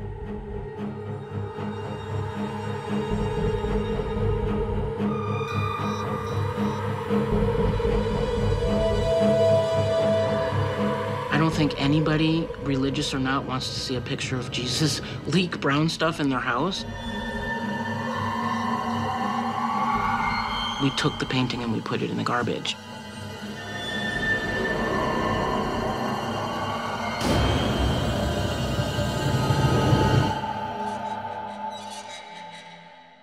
Have the ability to make us see anything that they want us to see.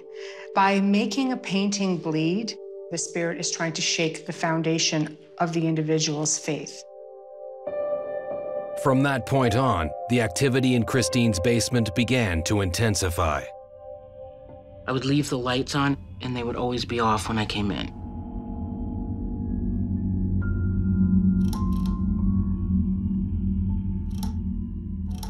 So I would have to walk in from the garage with the lights out.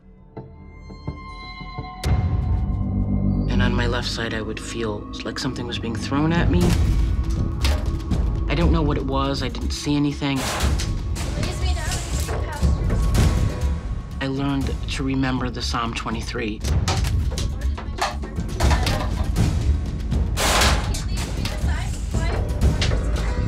I would recite that. That's how scary it was to me. Refreshes my soul. Reciting quotes from the Bible empowers the individual. It enforces their faith and it makes them feel like they are in control. But bear in mind, it could in fact anger the entity in question.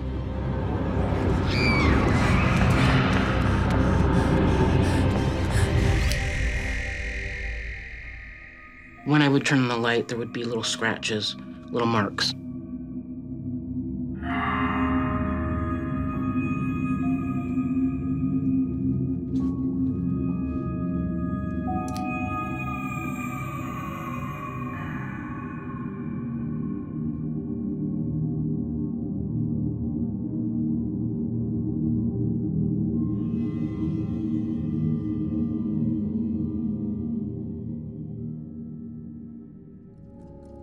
Soon, Christine began to see the physical manifestations of what had plagued her. One time I woke up um, and the clock started to run backwards.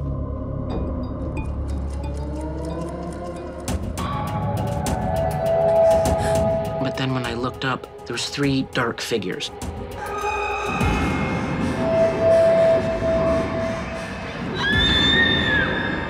It made me feel scared and it made me feel very alone. The nightly torment continued until Christine was old enough to leave home. I stayed there until I was 19 when I got a job and I moved out. I moved in with some friends.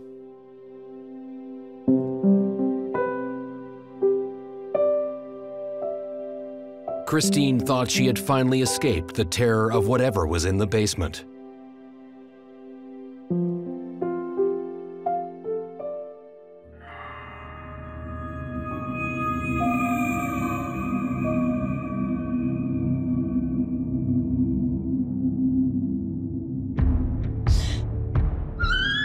Woke up to um, shadow people slamming their hands on my back.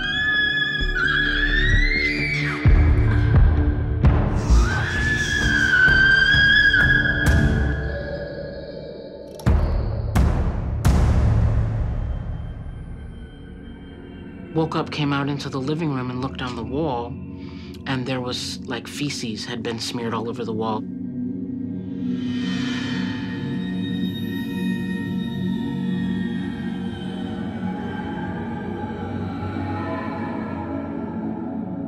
Convinced evil spirits were attached to her, Christine turned to her religion for help.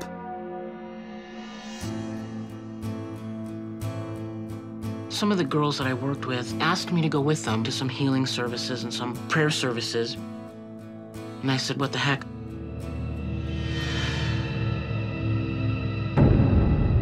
When I went up to go get a blessing, that's when, when things started to really manifest. That's when it was kind of hard to say no. There's nothing attached to me. It was kind of clear.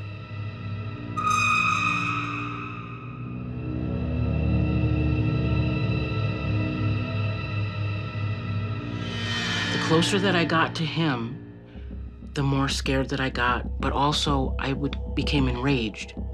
And I remember standing there thinking, why would I be angry? Why would I have this rage? The temperature changed from hot to very, very hot to very, very cold and then back again.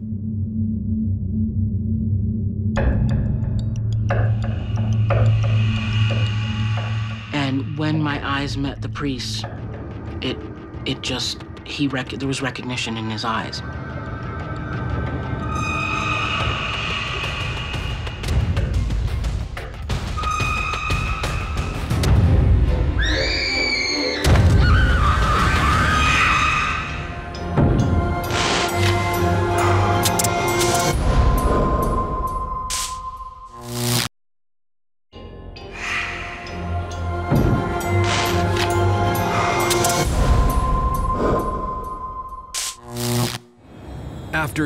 Torment by evil entities, Christine Corda sought solace at her local church.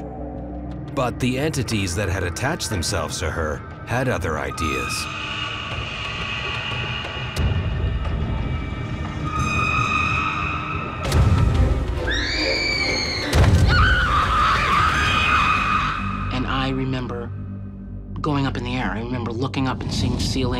Going by like I was being wheeled in a gurney, but only I was literally in midair. And landed on the floor in the back of the church. The priest came over and he started to pray, and that's when I sort of was coming in and out. I remember there was a lot of pain.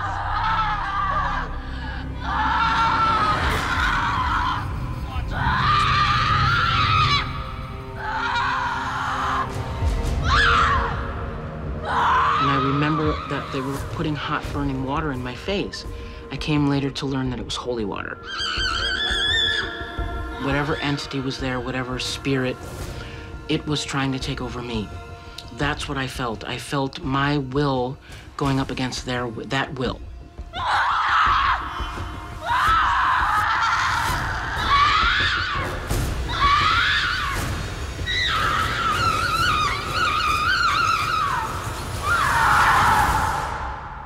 Didn't know if I was gonna live. I didn't know if something was gonna, you know, overtake me in my sleep and try to kill me or actually kill me. So that was the scariest time. The recognition that it was real. Levitation can definitely be associated with demonic spirits. If a body or an individual levitates under a demonic attack, that person could very potentially be possessed to the point where you would need exorcism. It, it was traumatic, to say the least.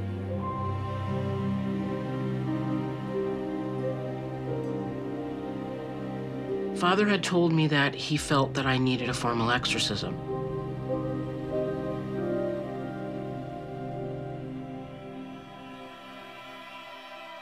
An exorcism expels the demon from either the host, area, or object that it is in possession of. Demonic are believed to be disembodied, malevolent beings. They're said to be fallen angels, but they are very aggressive and they are there to hurt you. The priest quickly arranged for an exorcism to be performed on Christine. At her side was her spiritual mentor and friend, Frank Martino. With Christine, uh, with the exorcism that she had, with the priest, I was there as a supportive position, just supporting uh, Christine.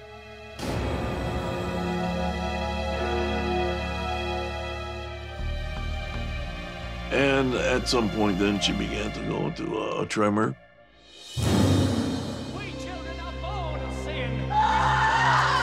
He did some prayers. He did some prayers in Latin.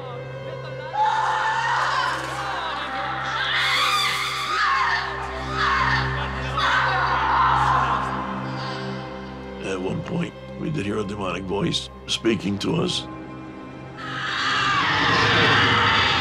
We heard a, um, a tongue coming out of her, which was obviously a demonic. It took, it was literally like nine hours. I do not remember much at all.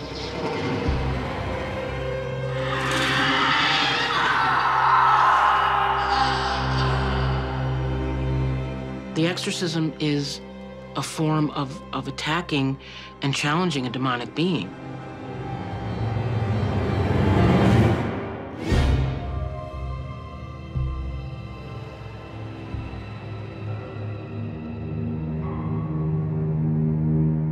He said that he recognized it as a demon or a demonic being.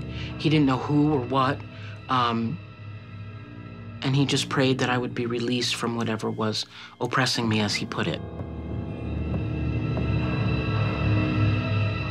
At that point, there will be deliverance.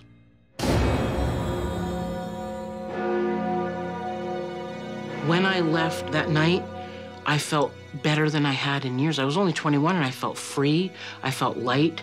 Um, I wasn't depressed. I wasn't oppressed. It just was, he, whatever he did had done something to me that nothing had ever done. And I felt like I was glad to be alive, to be honest. I'm alive and I survived, and it's wonderful. And I feel that I have been victorious. That's possible for everyone. No matter how dark it is, the light is always at the end of the tunnel.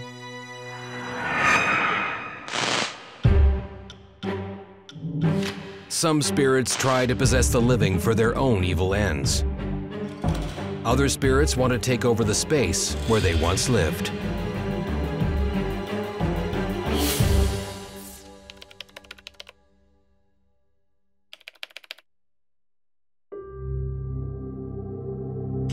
Haunted Boutique, story number 26.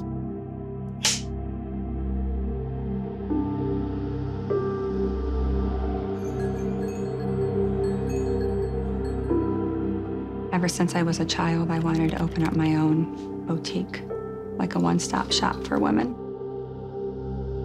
So I decided better time than never to take the plunge and open up my own business. Carrie Ann found what she thought was the perfect location for her boutique in an historic old building. I love old. I love antiques. I love the history of the building, dated from the 1800s. Upon purchasing it, I had learned that the home initially belonged to a general, General William Kirby, who served in the Civil War and Spanish American War, and that he would bring slaves here and hide them for safety. Just after the boutique opened, strange things started to happen. I would go to close up at night and I would go upstairs, shut off the lights, come downstairs.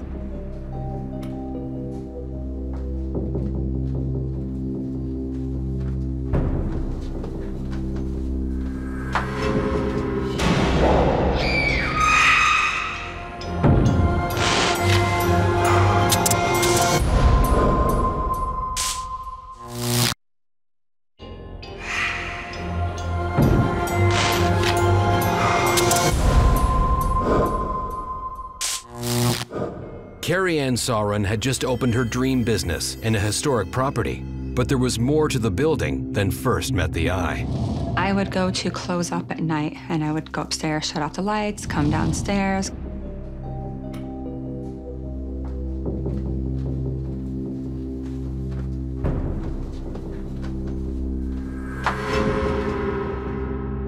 And then I would see lights that would be back on when I know that I had just shut them off.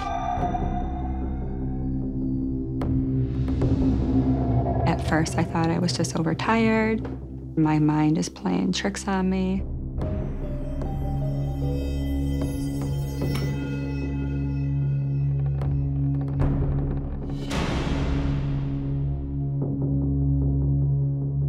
And I would go upstairs, shut them off, come back down, the lights would be on again.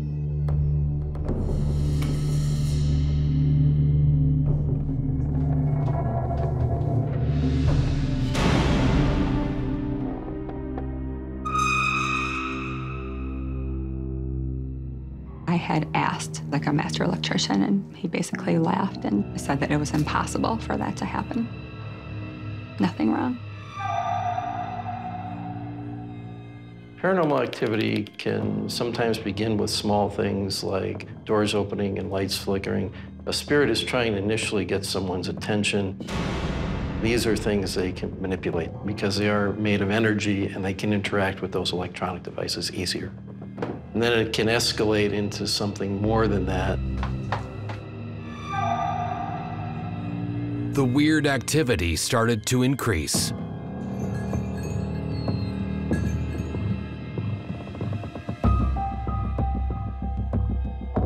You would hear footsteps. You would hear loud banging, whether it be pipes or loud banging on the walls. You would hear crying. You would hear some screams.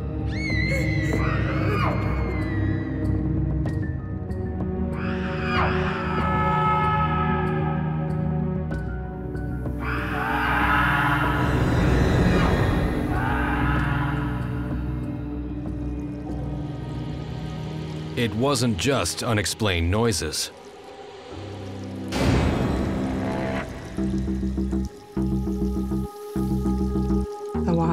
Would be turned on hot, and in each sink, steaming hot water would be coming up.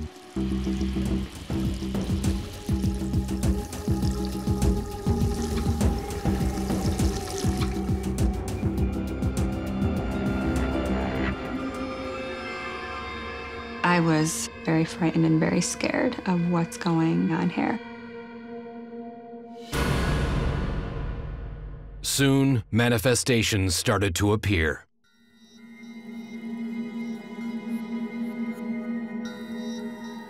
It was one Saturday. We were getting ready to close, and it was myself and one of the hairdressers.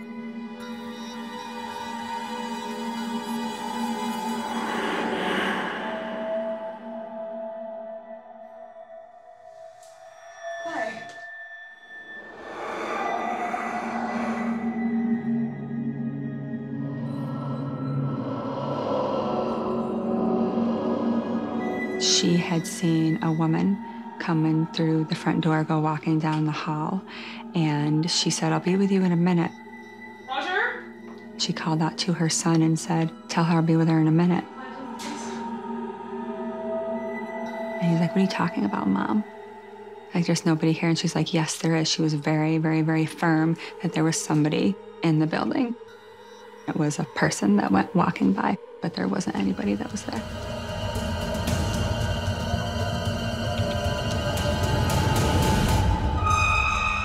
It would take one more incident for Carrie Ann to admit the truth. Her boutique was haunted.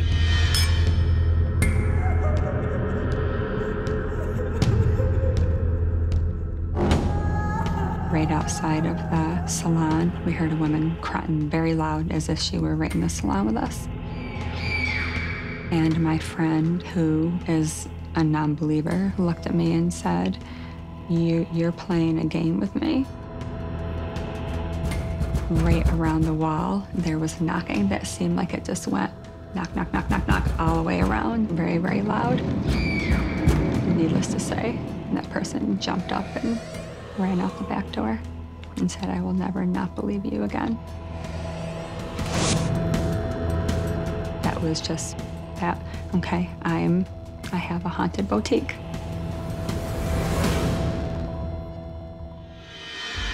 It wasn't long before the paranormal activity started to target Carrie Ann's son. I was by the cash register and I heard my son saying, Yes, what? Okay. And I saw him walk out of the boutique and down the hall toward the stairs.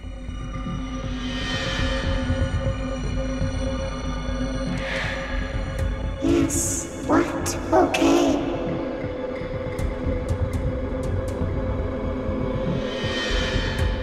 And I asked him what he was doing. And he said, Someone is calling his name and telling him to come upstairs. And I said, Who? He said, Children telling him to come up.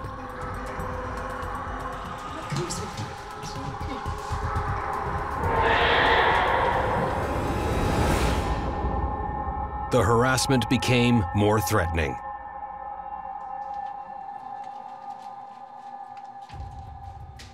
When my son was at the boutique, he was locked in the bathroom and he could not get out.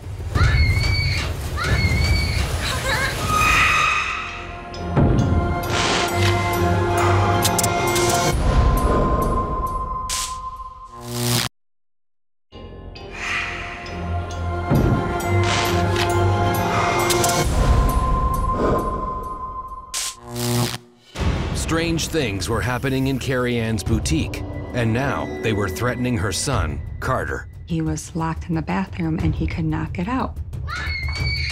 Carter? I go, unlock it the way that you locked it.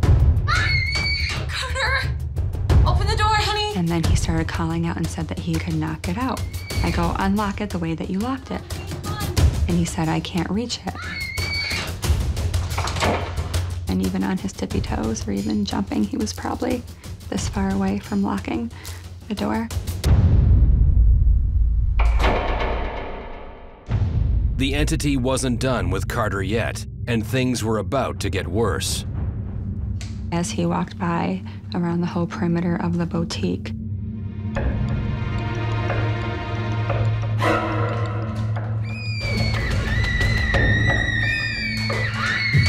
Carter! Drawers were opening, Clothing was falling off the walls. There was pictures that were shaking. This went around the whole perimeter, and my son looks at me with his big eyes. That's the ghost, isn't it, Mommy? Like that, my mom, protection mode came in and ran downstairs. That was the most frightening experience.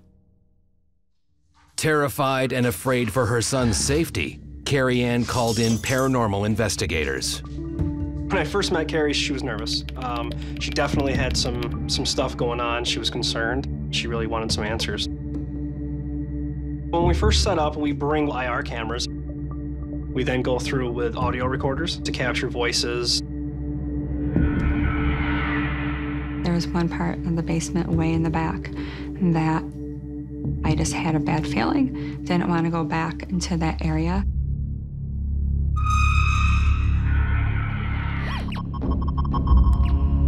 You definitely just get that gut feeling like, okay, there's something, something not quite right down here.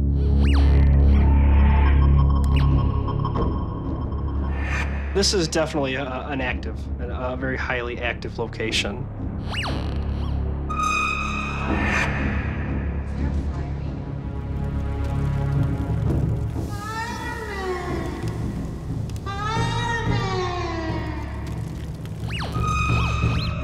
The ghost hunter suggested that there may have been a fire here in the home by the looks of one of the walls.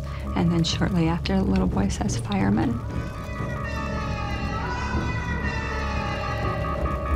When we heard the fireman's response, it was kind of like one of those no way moments. You know, uh, you don't always get stuff like that. The investigators decided to see if they could contact the former owner of the property, General Kirby, for answers. We were basically just trying to get General Kirby to come out. Our psychic opened herself up and allowed him to use her energy to, to come forward. Even two seconds later, there was a giant, I mean, giant bang. I mean, the whole house shook. It all hell broke loose. The mirrors in the boutique were rattling. The pipes started banging. I've never experienced that level of noise before. Bang, bang, bang, bang, bang. It sounded like a machine gun going off. Then the activity started to focus on Carrie Ann. We started to feel sick. I was vomiting. I had gotten so sick, I couldn't even move, and I was on the floor.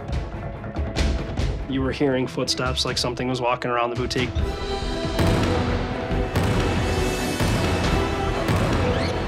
I had heard footsteps standing above me. I was so scared I couldn't even move. I felt like I was paralyzed. I thought somebody broke in here and they're going to hurt me, torture me, rape me, kill me. And as soon as I yelled, hey, stop, it just stopped. It just seemed just to go away. Making a demand of a spirit to stop certain activity can sometimes work because you're showing that you're in charge of the situation and the location rather than them. Despite her experiences, Carrie Ann decided to try to live alongside the spirit of General Kirby. In some cases, it is possible for an individual to live in harmony with spirits because those spirits aren't malevolent or evil and they're just human spirits, as we ourselves will be someday. I moved in with them. I moved in with with the spirits that are in here. They have accepted me being in here, and I have learned that okay, this if I'm going to be here in this building, then this is this is what I have. The talk of cleansing for Carrie's place came up one time, and she was pretty much okay with what was going on here. It adds a character to the building, I guess you could call it. Mostly we feel the spirits here just want to be left alone.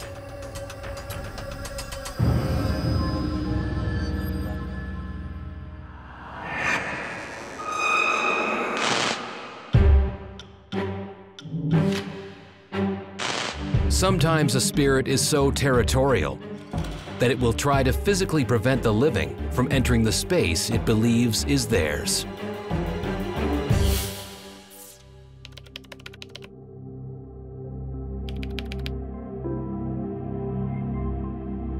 Paranormal Survivor 2, Kate's Haunted Nova Scotia Home, take one.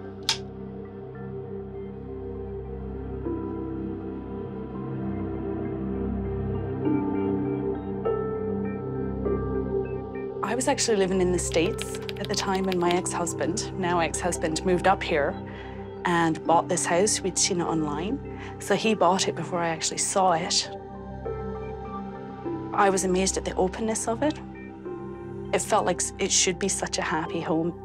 And of course, there's no neighbors nearby, so we had peace, we had privacy, everything we could want to raise a family.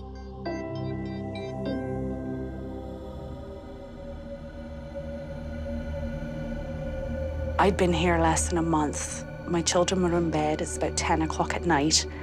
My husband's out working, and I was in the living room.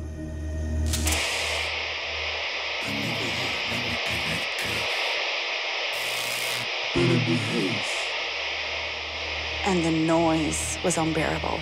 It was a static radio. Very, very loud, and somebody was trying to speak. I couldn't make sense of what they were trying to say because of the static in the background. It must have lasted about five minutes. Um, I mentioned it to my husband when he came home from work. He brushed it off. That wasn't the last unexplained noise Kate would hear in the house.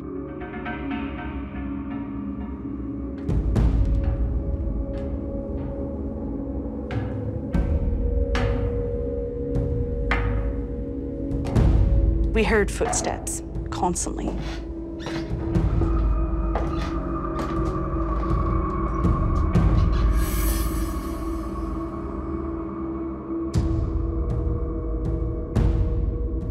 We'd actually hear the basement door unlatch.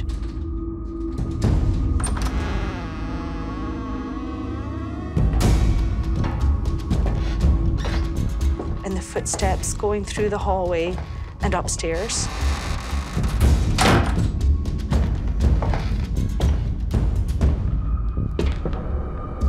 And my husband, who's a huge skeptic, didn't believe me. There was always an explanation. Oh, it's the wind, it's an old house, something's happening.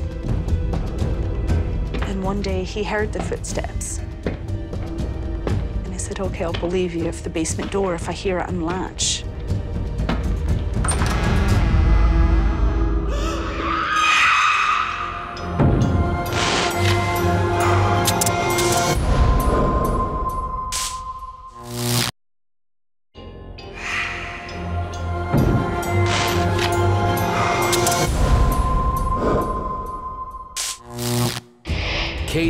Kate Kirkpatrick's dream Nova Scotia home was turning into a nightmare. Even her skeptical husband was forced to admit something was wrong. One day he heard the footsteps. And he said, okay, I'll believe you if the basement door, if I hear it unlatch.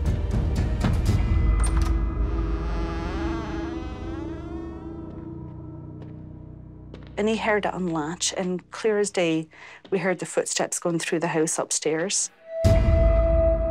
There was a lot of instances of those kind of noises. The activity inside the house began to get more menacing.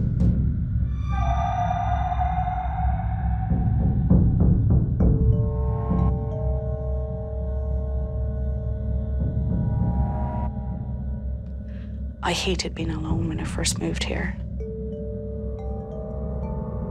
You knew you were being watched. You could feel it, that somebody else was following you. You can feel somebody close to your face, monitoring you, feeling and watching every move that you make.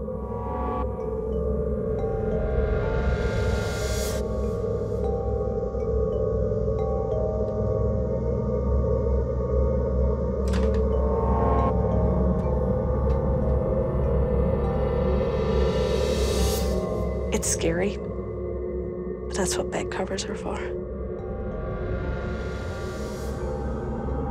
You pull them over the top and you ask it to go away.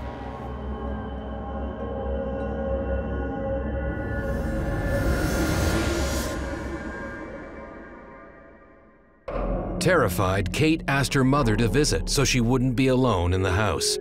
But that just made matters worse. My mother came over from Scotland just about a year after I moved here.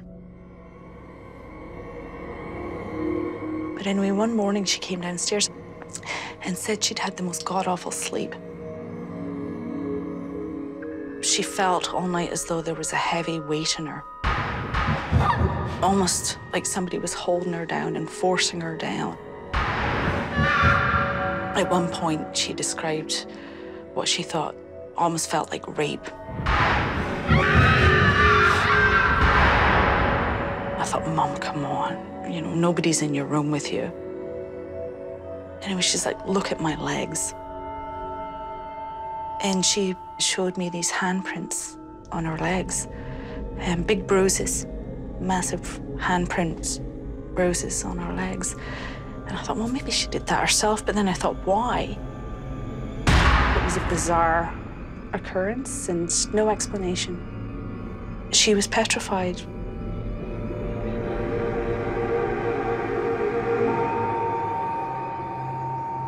I have worked many cases where people have been allegedly attacked by spirits.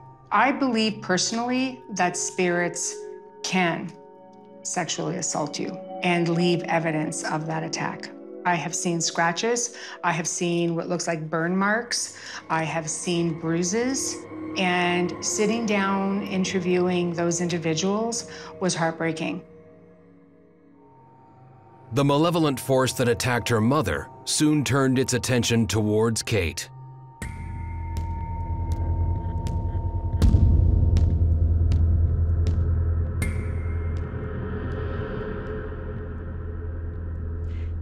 This was the first time I was ever truly scared of the house. Um, I was outside mowing.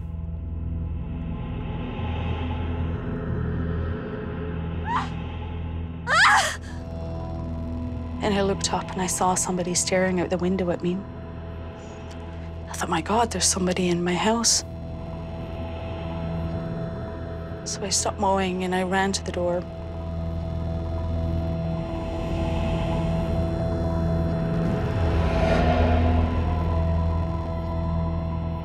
It was like running into a brick wall. I forced myself to come in, and the feeling was like something I will hopefully never feel again. It was so cold. It was like walking through the thickest molasses you could possibly imagine. And all I wanted to do was get my phone. And I grabbed my phone and I ran out. And I could breathe again. The pressure was off. It was, it was unbelievable. Anyway, I called a friend of mine. She said she'd be right up.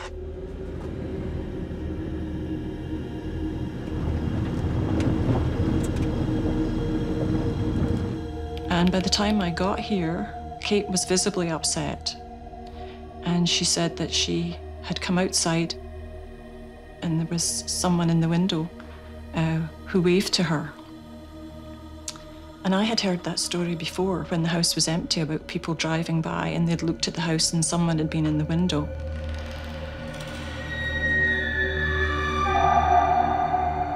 I said to Kate, we have to be strong. We have to go in there and, you know, be a presence ourselves. And we just came in. But she came with me and we walked in the door and she froze. Every hair in her arm went up. She had goosebumps. It was scary, the two of us. It was fighting trying to walk through the house. The feeling in here, we were being watched, we were being pushed out. It was, it was like nothing I can even describe. Get out of this house! This is not your home! and um, went from room to room, trying to be as strong as possible and just saying, This is not your home. This is Kate's home. You must leave. She led the way, screaming, screaming throughout the house. Get out of this house! This is not your home! Get out! After we had gone through all the house, we went back downstairs. We could just feel this rush of cold air coming very quickly. Screaming, get out, get out, get out.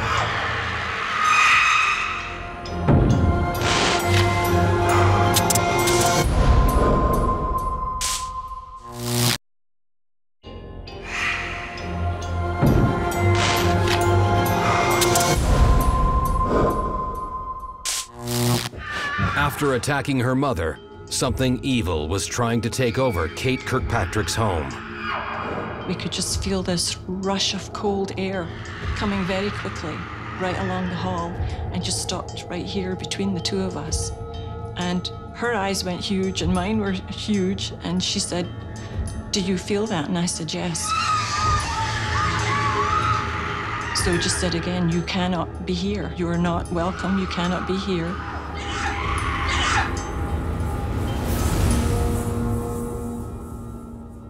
And all of a sudden, you could feel it just sort of move away again. But, you know, your hair was all standing up and goosebumps and everything. I'm thinking I've completely lost my marbles. But it was happening to me and it was very real. And it was perhaps one of the scariest things I've ever had to go through. Kate decided to look into the house's past. I think I started looking into it a bit more. I began with just trying to find out the history of the house. And this house is well known in the community for its ghosts and its horror stories. Going back generations, I mean, we're talking over 100 years.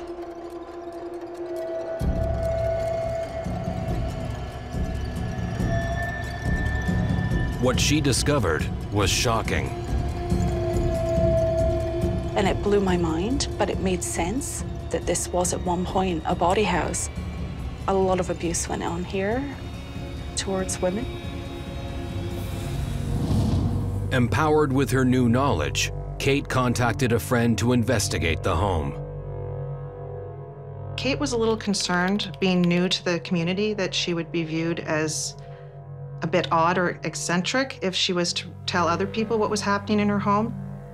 It was actually common knowledge here that her house was haunted. I actually felt relieved. I remember speaking to them and thinking, okay, you don't think I'm crazy. Kimberly and her team set about trying to find the spirit plaguing the house. I didn't have any feelings about the home when I initially came here until we entered the room where the most activity happened that evening. In that room, it was a very dense feeling. The air almost felt like a humid day without the heat. One of the EVPs that we captured actually happened within the first five minutes of being in the room. I was standing in the corner of the room and I kept getting pushed forward. I felt like I was being pushed. I had a hard time getting my words out. And at the time, I could see my team members looking over at me because they were concerned because I was not able to, to talk. And we got an EVP that says, Tell Kim I'm moving her body. Tell Kim I'm moving her body. Spirits can be extremely territorial, especially if you're dealing with spirits from another time. If the spirit man in question was accustomed to being able to go into the brothel and have his way with the females, there's nothing saying that he's not going to do that in this time or place. Not wanting to risk any further attacks, Kimberly organized a spirit circle to try to remove the spirit. At the end of the evening, we do a spirit circle to try to convince the spirit, talk to them, tell them they can leave, explain that they don't have to be here. That night, um, I had an experience which I can only explain as a psychic experience because I actually saw.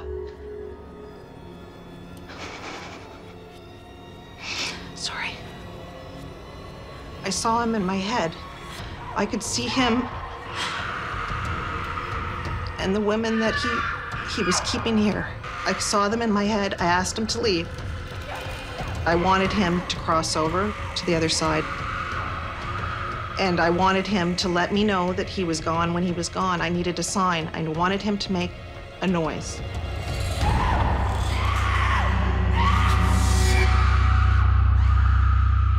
The spirit proved too powerful to be crossed over.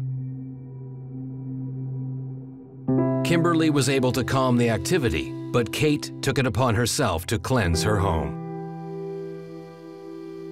I think the more I heard about this house and what it was, it angers you. I'm a woman, I'm living here.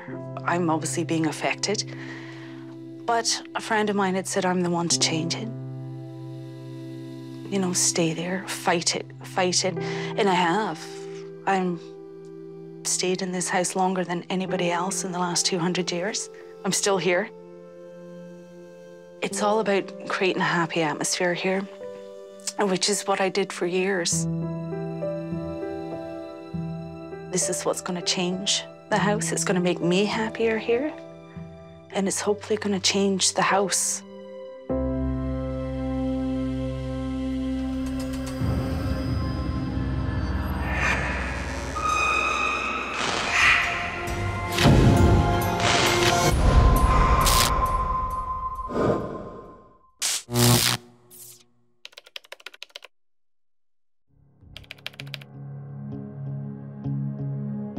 Paranormal Survivor 2, Adina's Midnight Stalker, story number 28. Take one.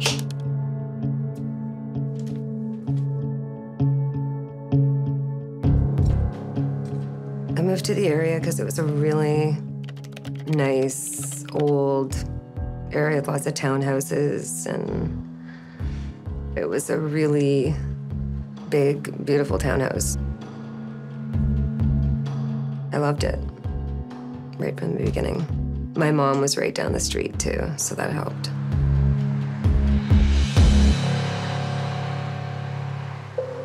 Dina had barely moved in when she started to have strange experiences in her new home.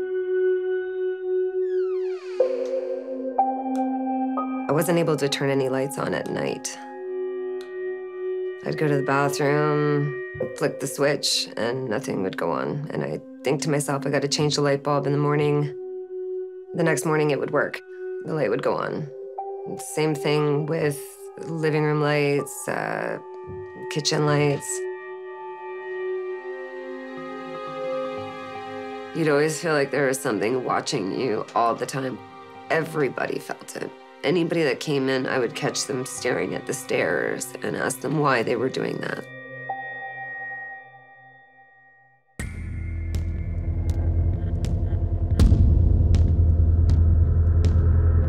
One night, I went to the kitchen. I was half asleep. I was just going to get a drink.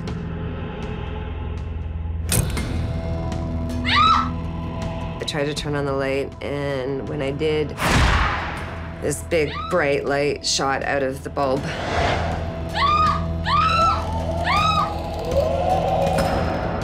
I've seen all these silhouettes in my kitchen, all these people in my kitchen.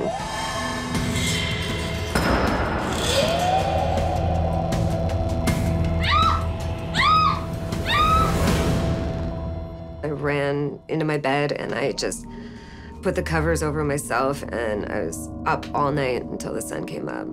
I didn't sleep.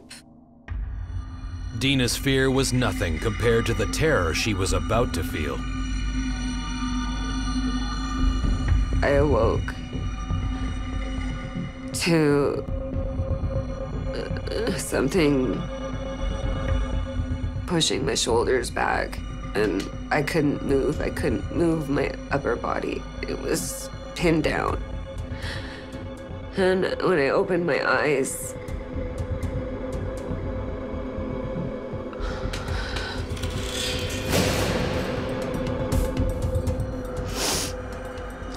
um, there was a guy on top of me. It wasn't a guy, it was a spirit, it was a ghost. I couldn't move, I couldn't. I couldn't think. I was I was trapped, mentally and physically trapped by this thing. He was pure evil. He was evil. I can't even say what he said to me on camera. It's so vulgar and disgusting.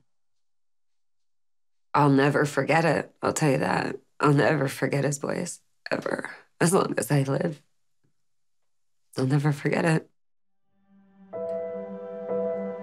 Seeking help, Dina told her mother about the attack. She didn't really think it was real, or she didn't think I was. She maybe thought I was embellishing, or she thought.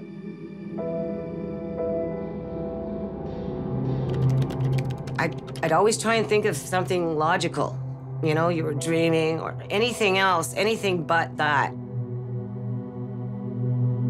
Dina was terrified and tried to get rid of the spirit herself.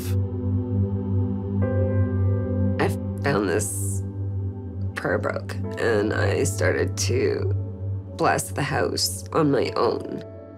And I had a good feeling like it was going to be okay. I thought that it would take anything evil or anything with any bad intent out.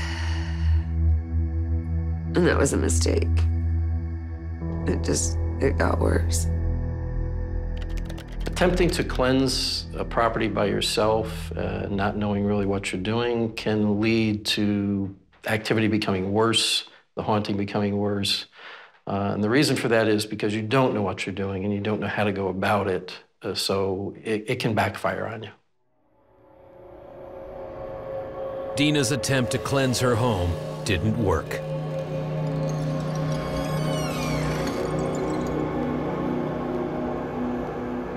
I was in bed again in my, my bedroom, and um,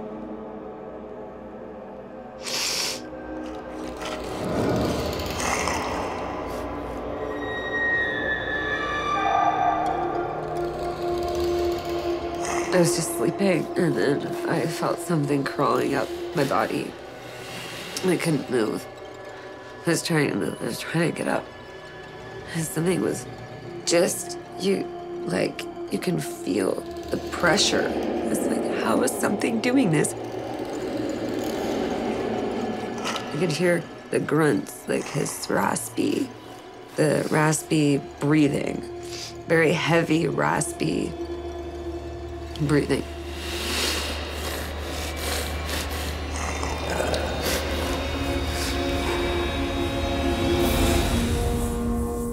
He said, Die, bitch. Bitch. Horror. Horrific. Soon, the spirit began to torment Dina in other ways. I was checking my voicemails on my cell phone, and I got a voicemail. To listen to your messages, press 1. I'm watching It was him.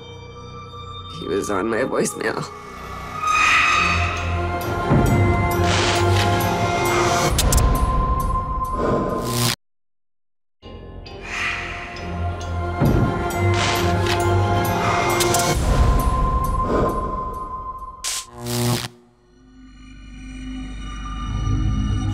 Dina Rotondo was being attacked in her bed by an evil spirit. But just when she thought it couldn't get any worse, it began to torment her in other ways. I am watching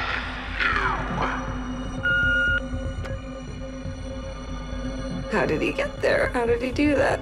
You know, I didn't know what to think. I was a voice saying, I see you. I, I can see you. I'm, I see you in the shower. Every private thing of my life is someone watching. I always had eyes on me, and he let me know that. I called the police.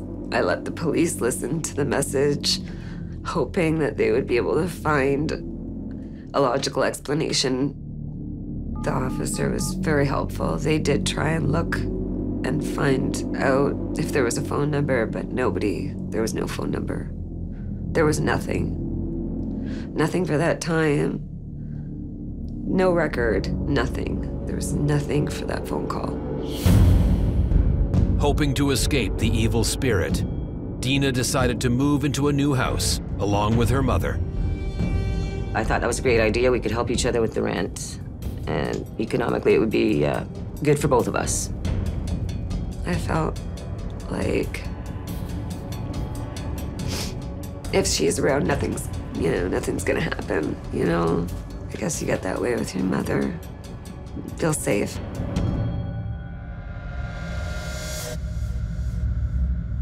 Sleeping alongside her mother, Dina finally felt safe. My mother and I uh, were sharing a bed that night. The air conditioner was only in one room. It was a really hot night. And it was about 3 a.m.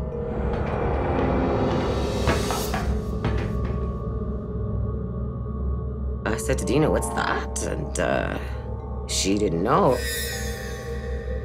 So I went into the bathroom to check it out.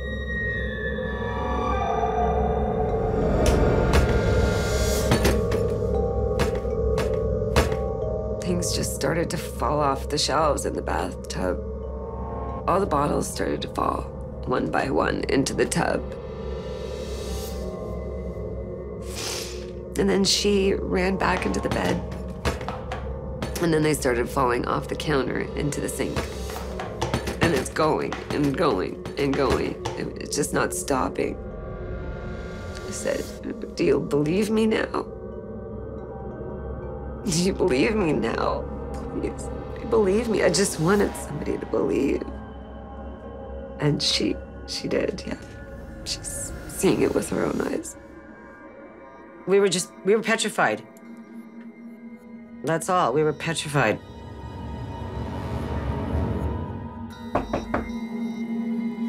Dina called paranormal investigator John Moore and psychic medium Craig Lee Floor.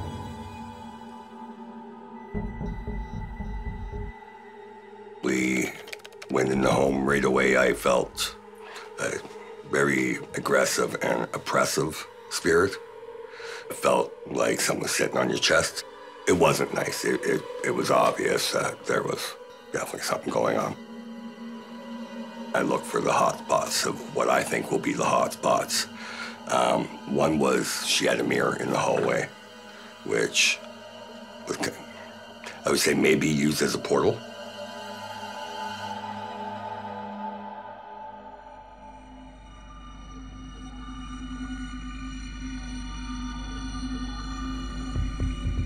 Definitely felt uncomfortable going into her room. He didn't have to tell you he didn't want you there. You knew he didn't want you there. They said there was um, definitely an evil entity in the house. The, the entity was definitely demonic in nature. There was no question that that was what he was. That freaked me out. I I knew he was evil, but I didn't know he was demonic. That's that's a whole other kind of scared. Because he was a demon and they had to get somebody in that knew how to deal with demonic entities.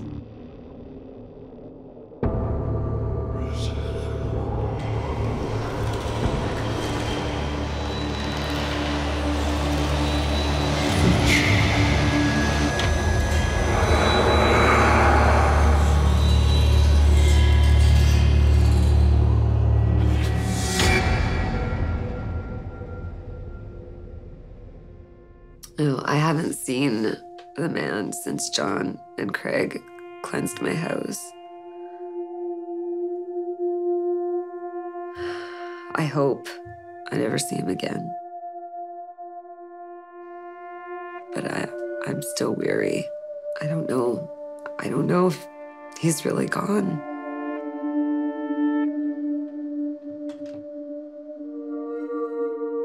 Can be very difficult to totally ever get rid of uh, an evil or negative spirit just because they are so powerful. You can try crossing them over, you can try using an exorcism to get rid of them, but it may not always work.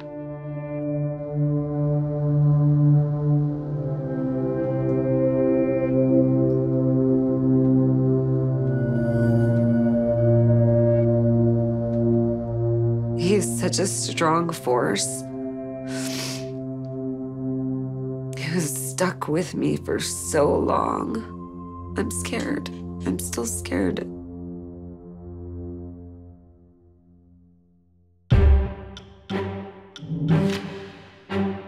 Sometimes evil spirits seem to enjoy terrorizing their living victims face to face over a long period of time.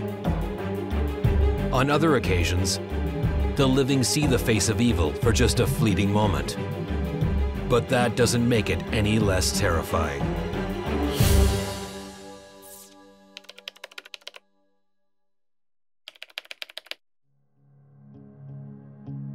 Paranormal Survivor 2, story number 8. Take one.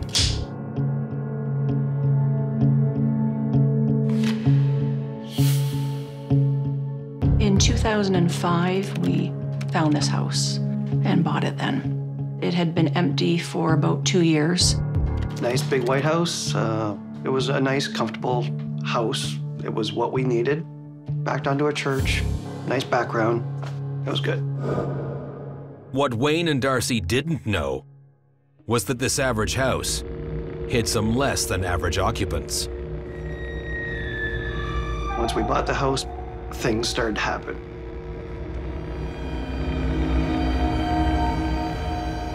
Was bent over the couch, um, turning on the light, I believe, and I got tapped on the shoulder three times. Did You just tap me on the shoulder? No. I'm doing dishes. And I heard him say something to the effect of, What would you like? Like, what do you want? I put my head in the living room and I could see him turn around and the color go from his face.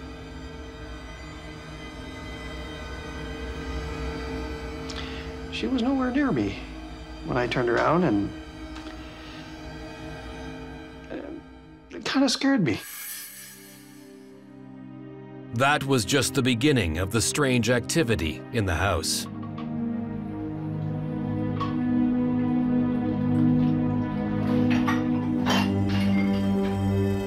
Would be times that I would be in bed and it sounded like somebody was washing the dishes in the kitchen um, by hand and stacking them in a dish drainer um, and walking throughout the kitchen.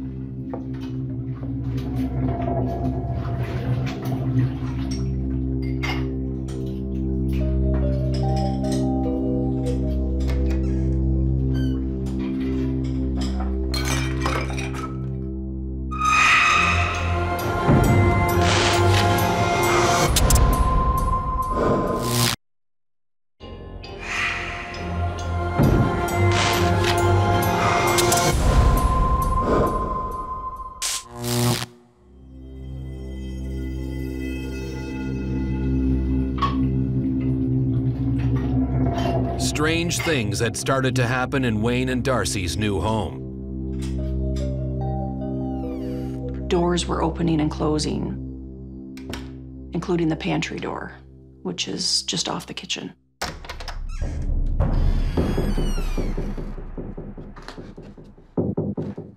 I came downstairs. I didn't know if somebody was in the house.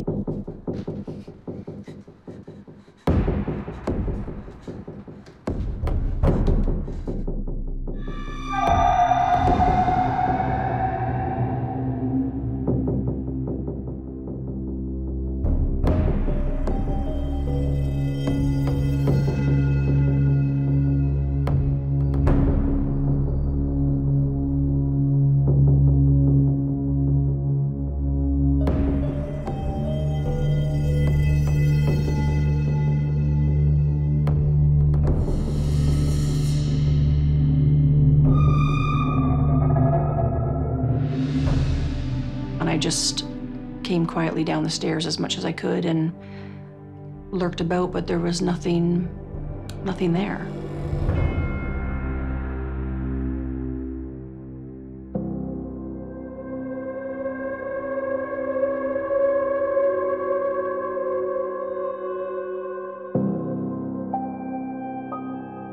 Soon the activity started to become more frequent and increase in intensity.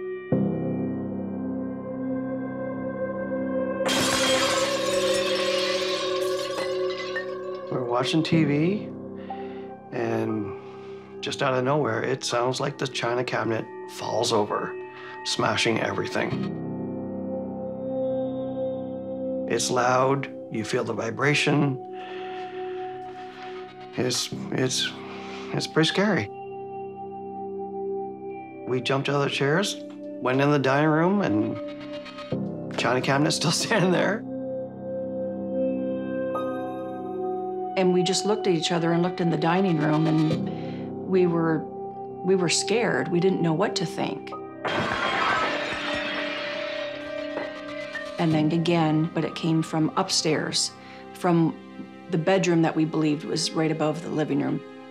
But it was the same type of noise that we heard in the dining room. It just sounded like the china cabinet had fallen over.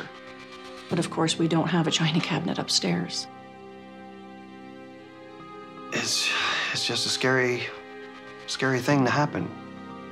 That's when we started to believe that, it, that there was something in the house.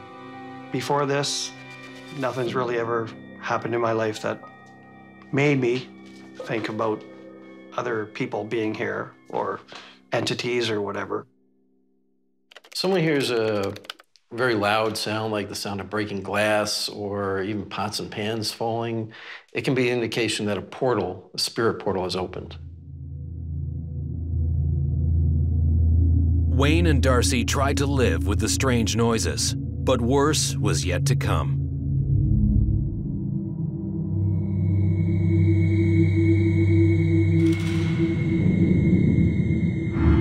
We've seen different shadow figures, especially in the dining room. The dining room has seemed to have the most activity in the house.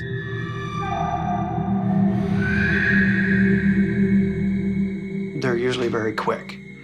Like it's like a a flash of something going across the dining room. It's a bit nerving, you know, it, it gets you. It makes your blood go, wondering what's going on. Soon the manifestations plaguing Wayne and Darcy's house would become much more disturbing.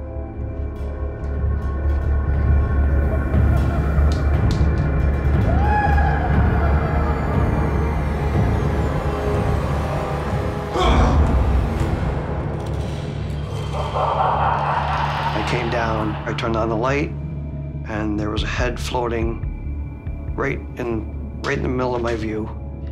And it was an old man. It was not solid, it was like an apparition. He was looking directly at me. We, if you can call it, made eye contact. We did. I ran back upstairs, pretty much white as he was, and scared to death. He looked frightened, very frightened, and shocked. My wife pretty much freaked out as much as I was, because, like, that doesn't happen every day. you don't just see a head floating in the air. It took a long time for me to get over that. That was a very scary episode. In some cases, um, an individual may only see a portion of the body of the spirit, such as a head or the body or the legs, because that's all that that spirit is capable of manifesting with the energy they have.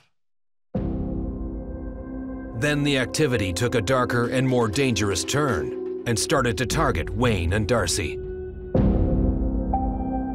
I started to wake up, and I knew that Wayne had already gotten up because I heard the television just lately. I tried to move just to get up like you normally would and push the covers off, and I couldn't move.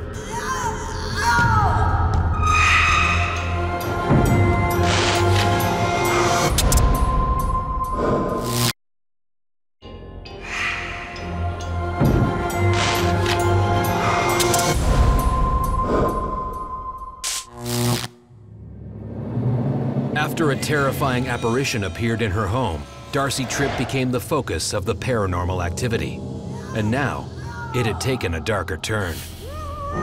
It felt like something was completely on my entire body from my neck down. I couldn't move. My arms were on top of me and I was on my back. And I could feel the blankets around me. And I didn't know what was going on. And I started to panic.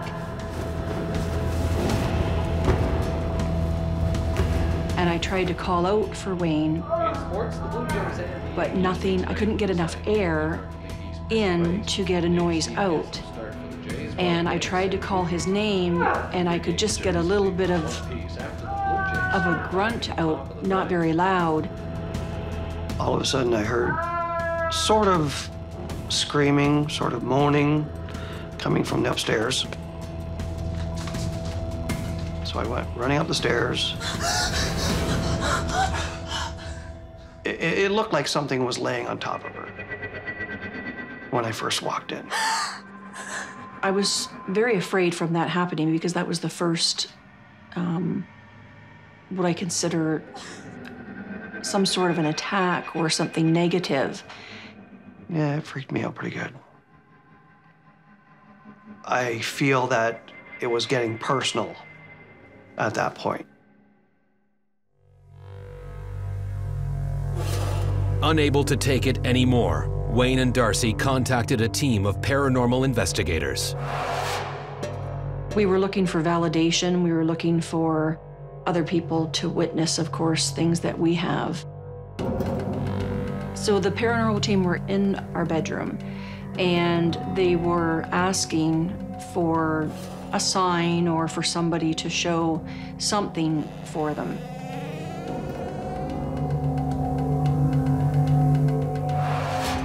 Did You guys hear that? See you. Shh.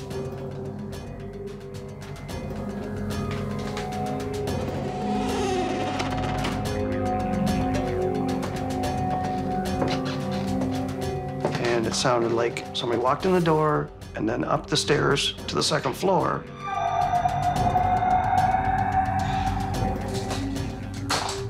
It's getting hot in here, guys. The lead investigator, um, he started to sweat profusely, and they could tell from their equipment that the temperature in the bedroom had went up at least five degrees. He had to leave the bedroom and come downstairs to get rid of that sensation. Undeterred, the investigators continued trying to reveal exactly what was plaguing the house.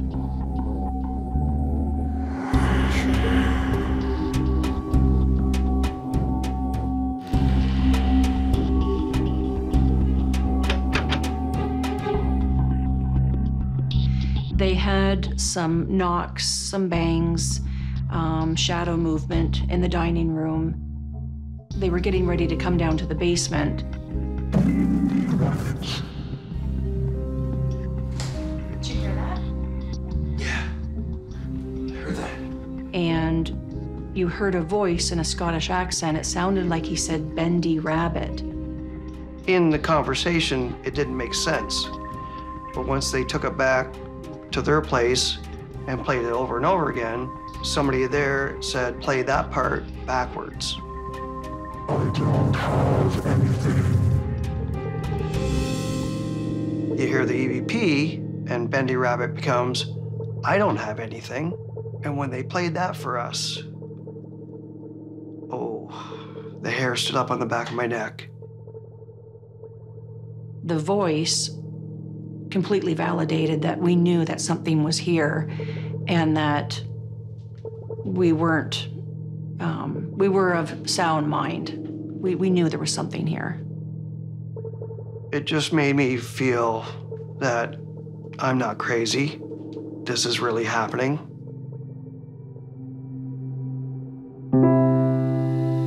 In an unusual move, Wayne and Darcy decided to publicize their experience in the local newspaper and ask the public for help. We actually went to this to Sarnia paper and put it out there. and there was a big write up. The family members of the family that lived here came to us with their opinion of who the Scottish gentleman's voice might be on our EVP. And their mom and dad that lived here had a boarder, and the boarder was Scottish. It sounds weird, um, but we have no intention of leaving right now.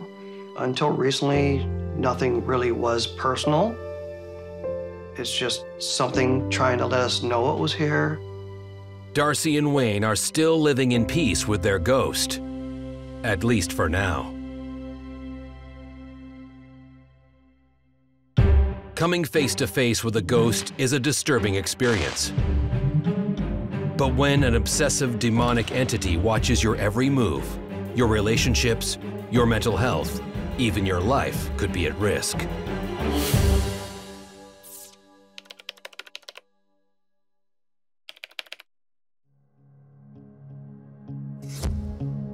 Okay, uh, Paranormal Survivor 2, Beth's Haunted Garage. Take one.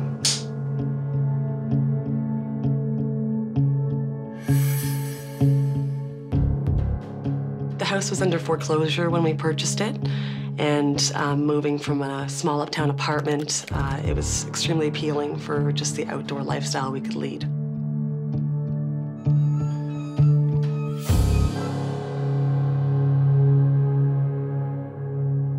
When we came into the garage uh, for the first time, it had been abandoned for quite some time, and it always gave me an uneasy feeling. It's always been kind of menacing. Because of that feeling, Beth generally stayed away from the garage.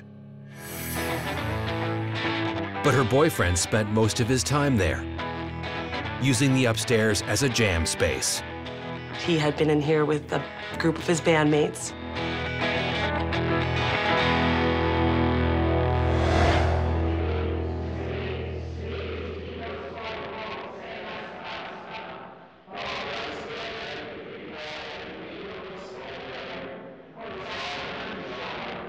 And when they took a break, they actually heard like satanic prayer music coming through the speaker system. And this was kind of like an ungodly preaching to Satan, asking for Satan's children to join this fold. They were completely freaked out by the entire situation. Slowly after that, the band eventually broke up and, and the jamming kind of stopped in here. Beth even felt uncomfortable whenever she was in view of the garage. I would feel the presence of, of somebody watching me through the window every night when I was home alone. It would draw my eye.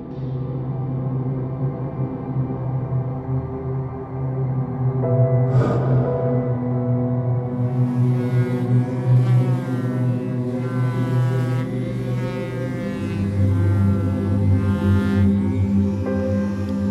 in the garage one day and everything was turned off. And he had come inside the house and grabbed a drink of water.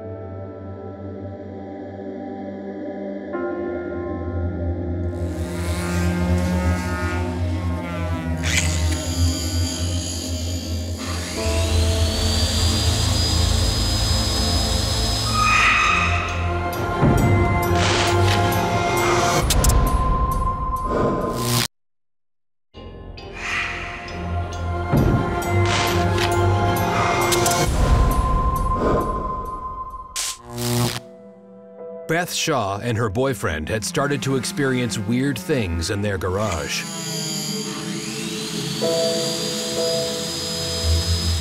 And when he came back outside, everything was going, and it had been going for a few minutes. And he was just distraught. He kept it to himself that day. He didn't tell me about it.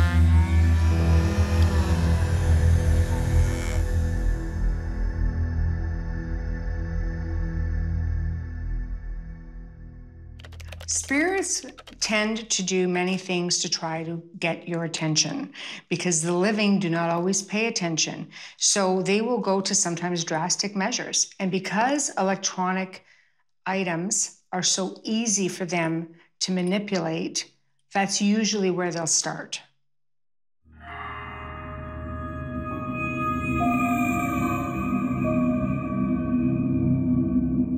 Eventually, Beth and her boyfriend broke up. And when he left, he had a warning for her. When he moved out, he actually pulled me aside and let me know that when he was here, he experienced several different paranormal activities happening in front of him, but at the time he knew how I'd feel about it. But he told me when he sat me down and, and let me know that something might be concerning to me if I'm here alone.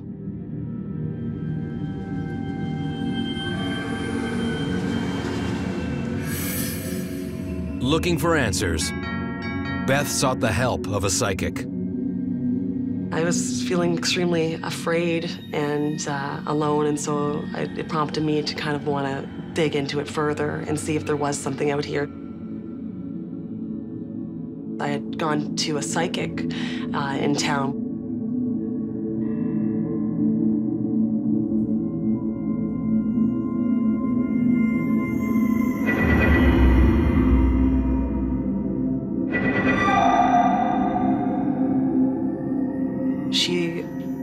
That she could see a man staring at me through a broken window.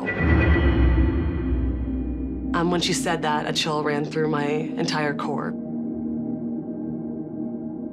When you look upon my garage from my window, you see a window that I personally installed, and it's not broken, but there's a split screen in the window. So it appears to be broken from the outside. And she just said that he had very ill intent um, towards me and that I should watch out. He wasn't a good spirit, and he was, you know, kind of standing lord over the land that I was currently on by myself.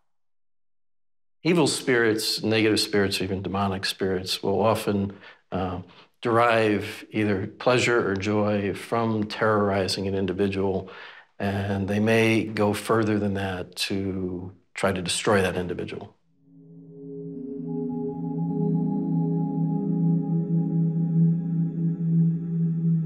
I thought it would be kind of intriguing to have people over and do a seance. And we had a big bonfire after the seance. and There was probably about 20 or 30 people here. It was beautiful, beautiful night, no wind, beautiful fire.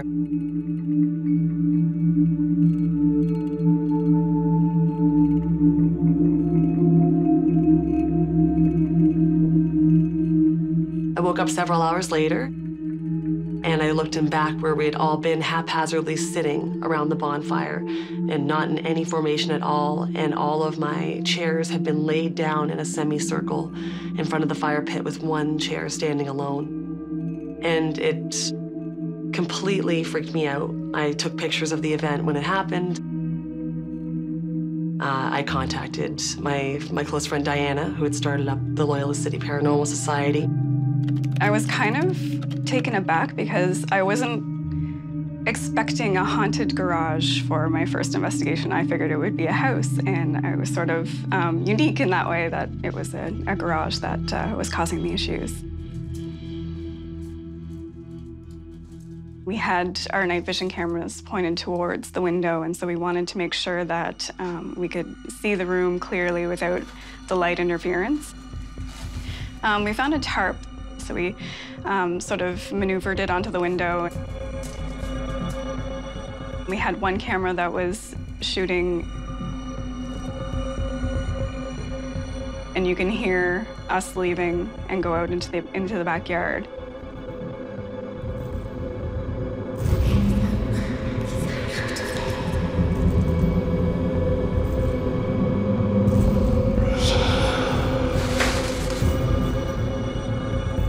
And then all of a sudden, you see the tarp fall off the window. And you can hear footsteps clearly walking away from where the tarp was. You can almost hear what sounds like a breathing in the background. The window had a vapor lock over top of it.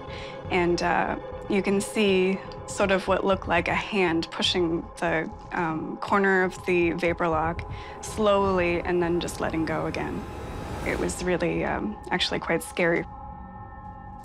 Soon the investigators would feel the spirit's hand themselves.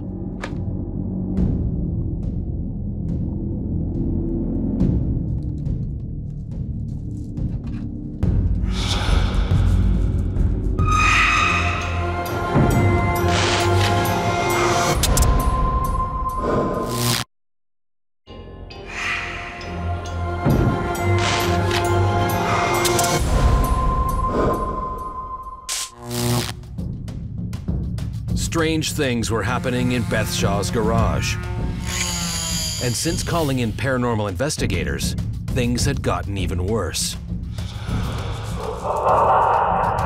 One of our investigators was actually touched on the leg, um, and she was she felt as if she was poked. I was terrified. I was terrified when I heard that. Um, I didn't. One thing to have a spirit that's actually able that you can physically see, but that it can physically assault you was uh, it was a whole different realm. Once the recording devices were set up, Diana and her team decided to try to communicate with the spirit. So the Ghost Box is sort of an experimental tool that we use, and uh, it was invented to um, create sort of a white noise, which gave the spirits a medium to speak through. It's um, like real-time EVPs, so you're asking questions and you're getting a response, hopefully right away.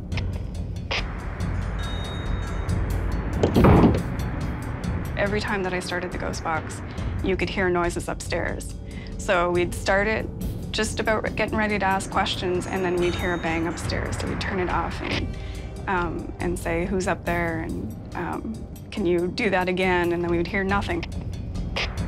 As soon as we turned the ghost box back on again, you would hear another bang, turn it off, and the same thing over and over again. It's almost as if it was playing games with us. They came with the intent to catch something, and I think that they did.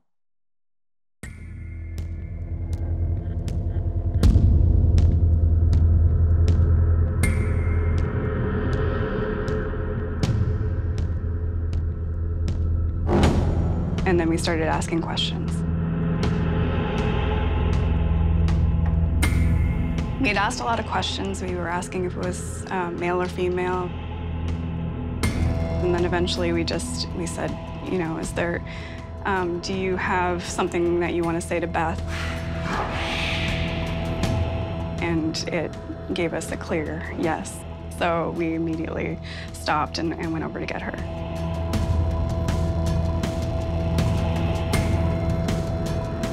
I was extremely uneasy. Die. I was able to hear a man's raspy voice. Die, Beth, die. Say my name and say, like, die, Beth, die. Specific words that you kind of like, like, gone and die and Beth. And it was just very specific things to kind of make me very afraid of, of this place. When we heard it, I was, um, all of us, I think, were kind of unnerved by it. We all felt that, you know, it's, it's really sort of um, like honing in on Beth, and that's like, it, it was kind of worrying us that it was almost obsessed. So um, we were asking about Beth's ex-partner, and we asked, did, um, did you like this guy? And on the ghost box, immediately afterwards you hear it sounds like it says kicked him out. So basically it, it, was in that same male voice he was saying you know like i didn't want him here so i drove him away. I was extremely overwhelmed when i heard that and i was extremely emotional. Our psychic medium had mentioned that um, she could tell that the, the spirit was not human it was not of uh, human nature and um, she had said that it was very negative. I think she actually called it a nasty. She felt really um, that it was fixated on Beth. And um, we need to clear it and, uh, and get it away from Beth, basically. Fearing what the entity would do next if left unchecked, Beth wanted it gone. The entity was sort of attached to the land, so she felt it necessary to have a clearing. She set up boundaries, buried some crystals around um, the property, and, uh, and asked that it, that it keep away. It's almost like putting up a fence. And she almost felt as if it was playing games at times with us. And while she was doing the clearing, she said she could sort of like feel like he was outside, kind of. Uh, like upset that it was being asked to stay away and uh, sort of um, like taunting and trying to intimidate her. The entire time she was here, cleansing the area, I felt like a force was pushing forward, just pushing forward the whole time.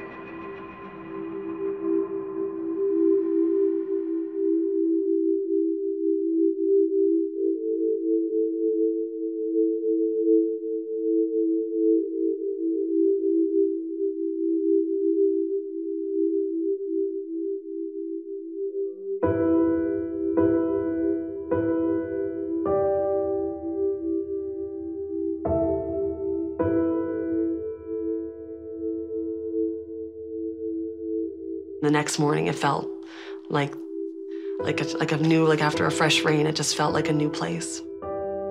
I was absolutely terrified when this was all going down. The garage for us was definitely one of the the creepiest investigations that we've ever done. Um, this is one of the ones that stands out, and we always talk about.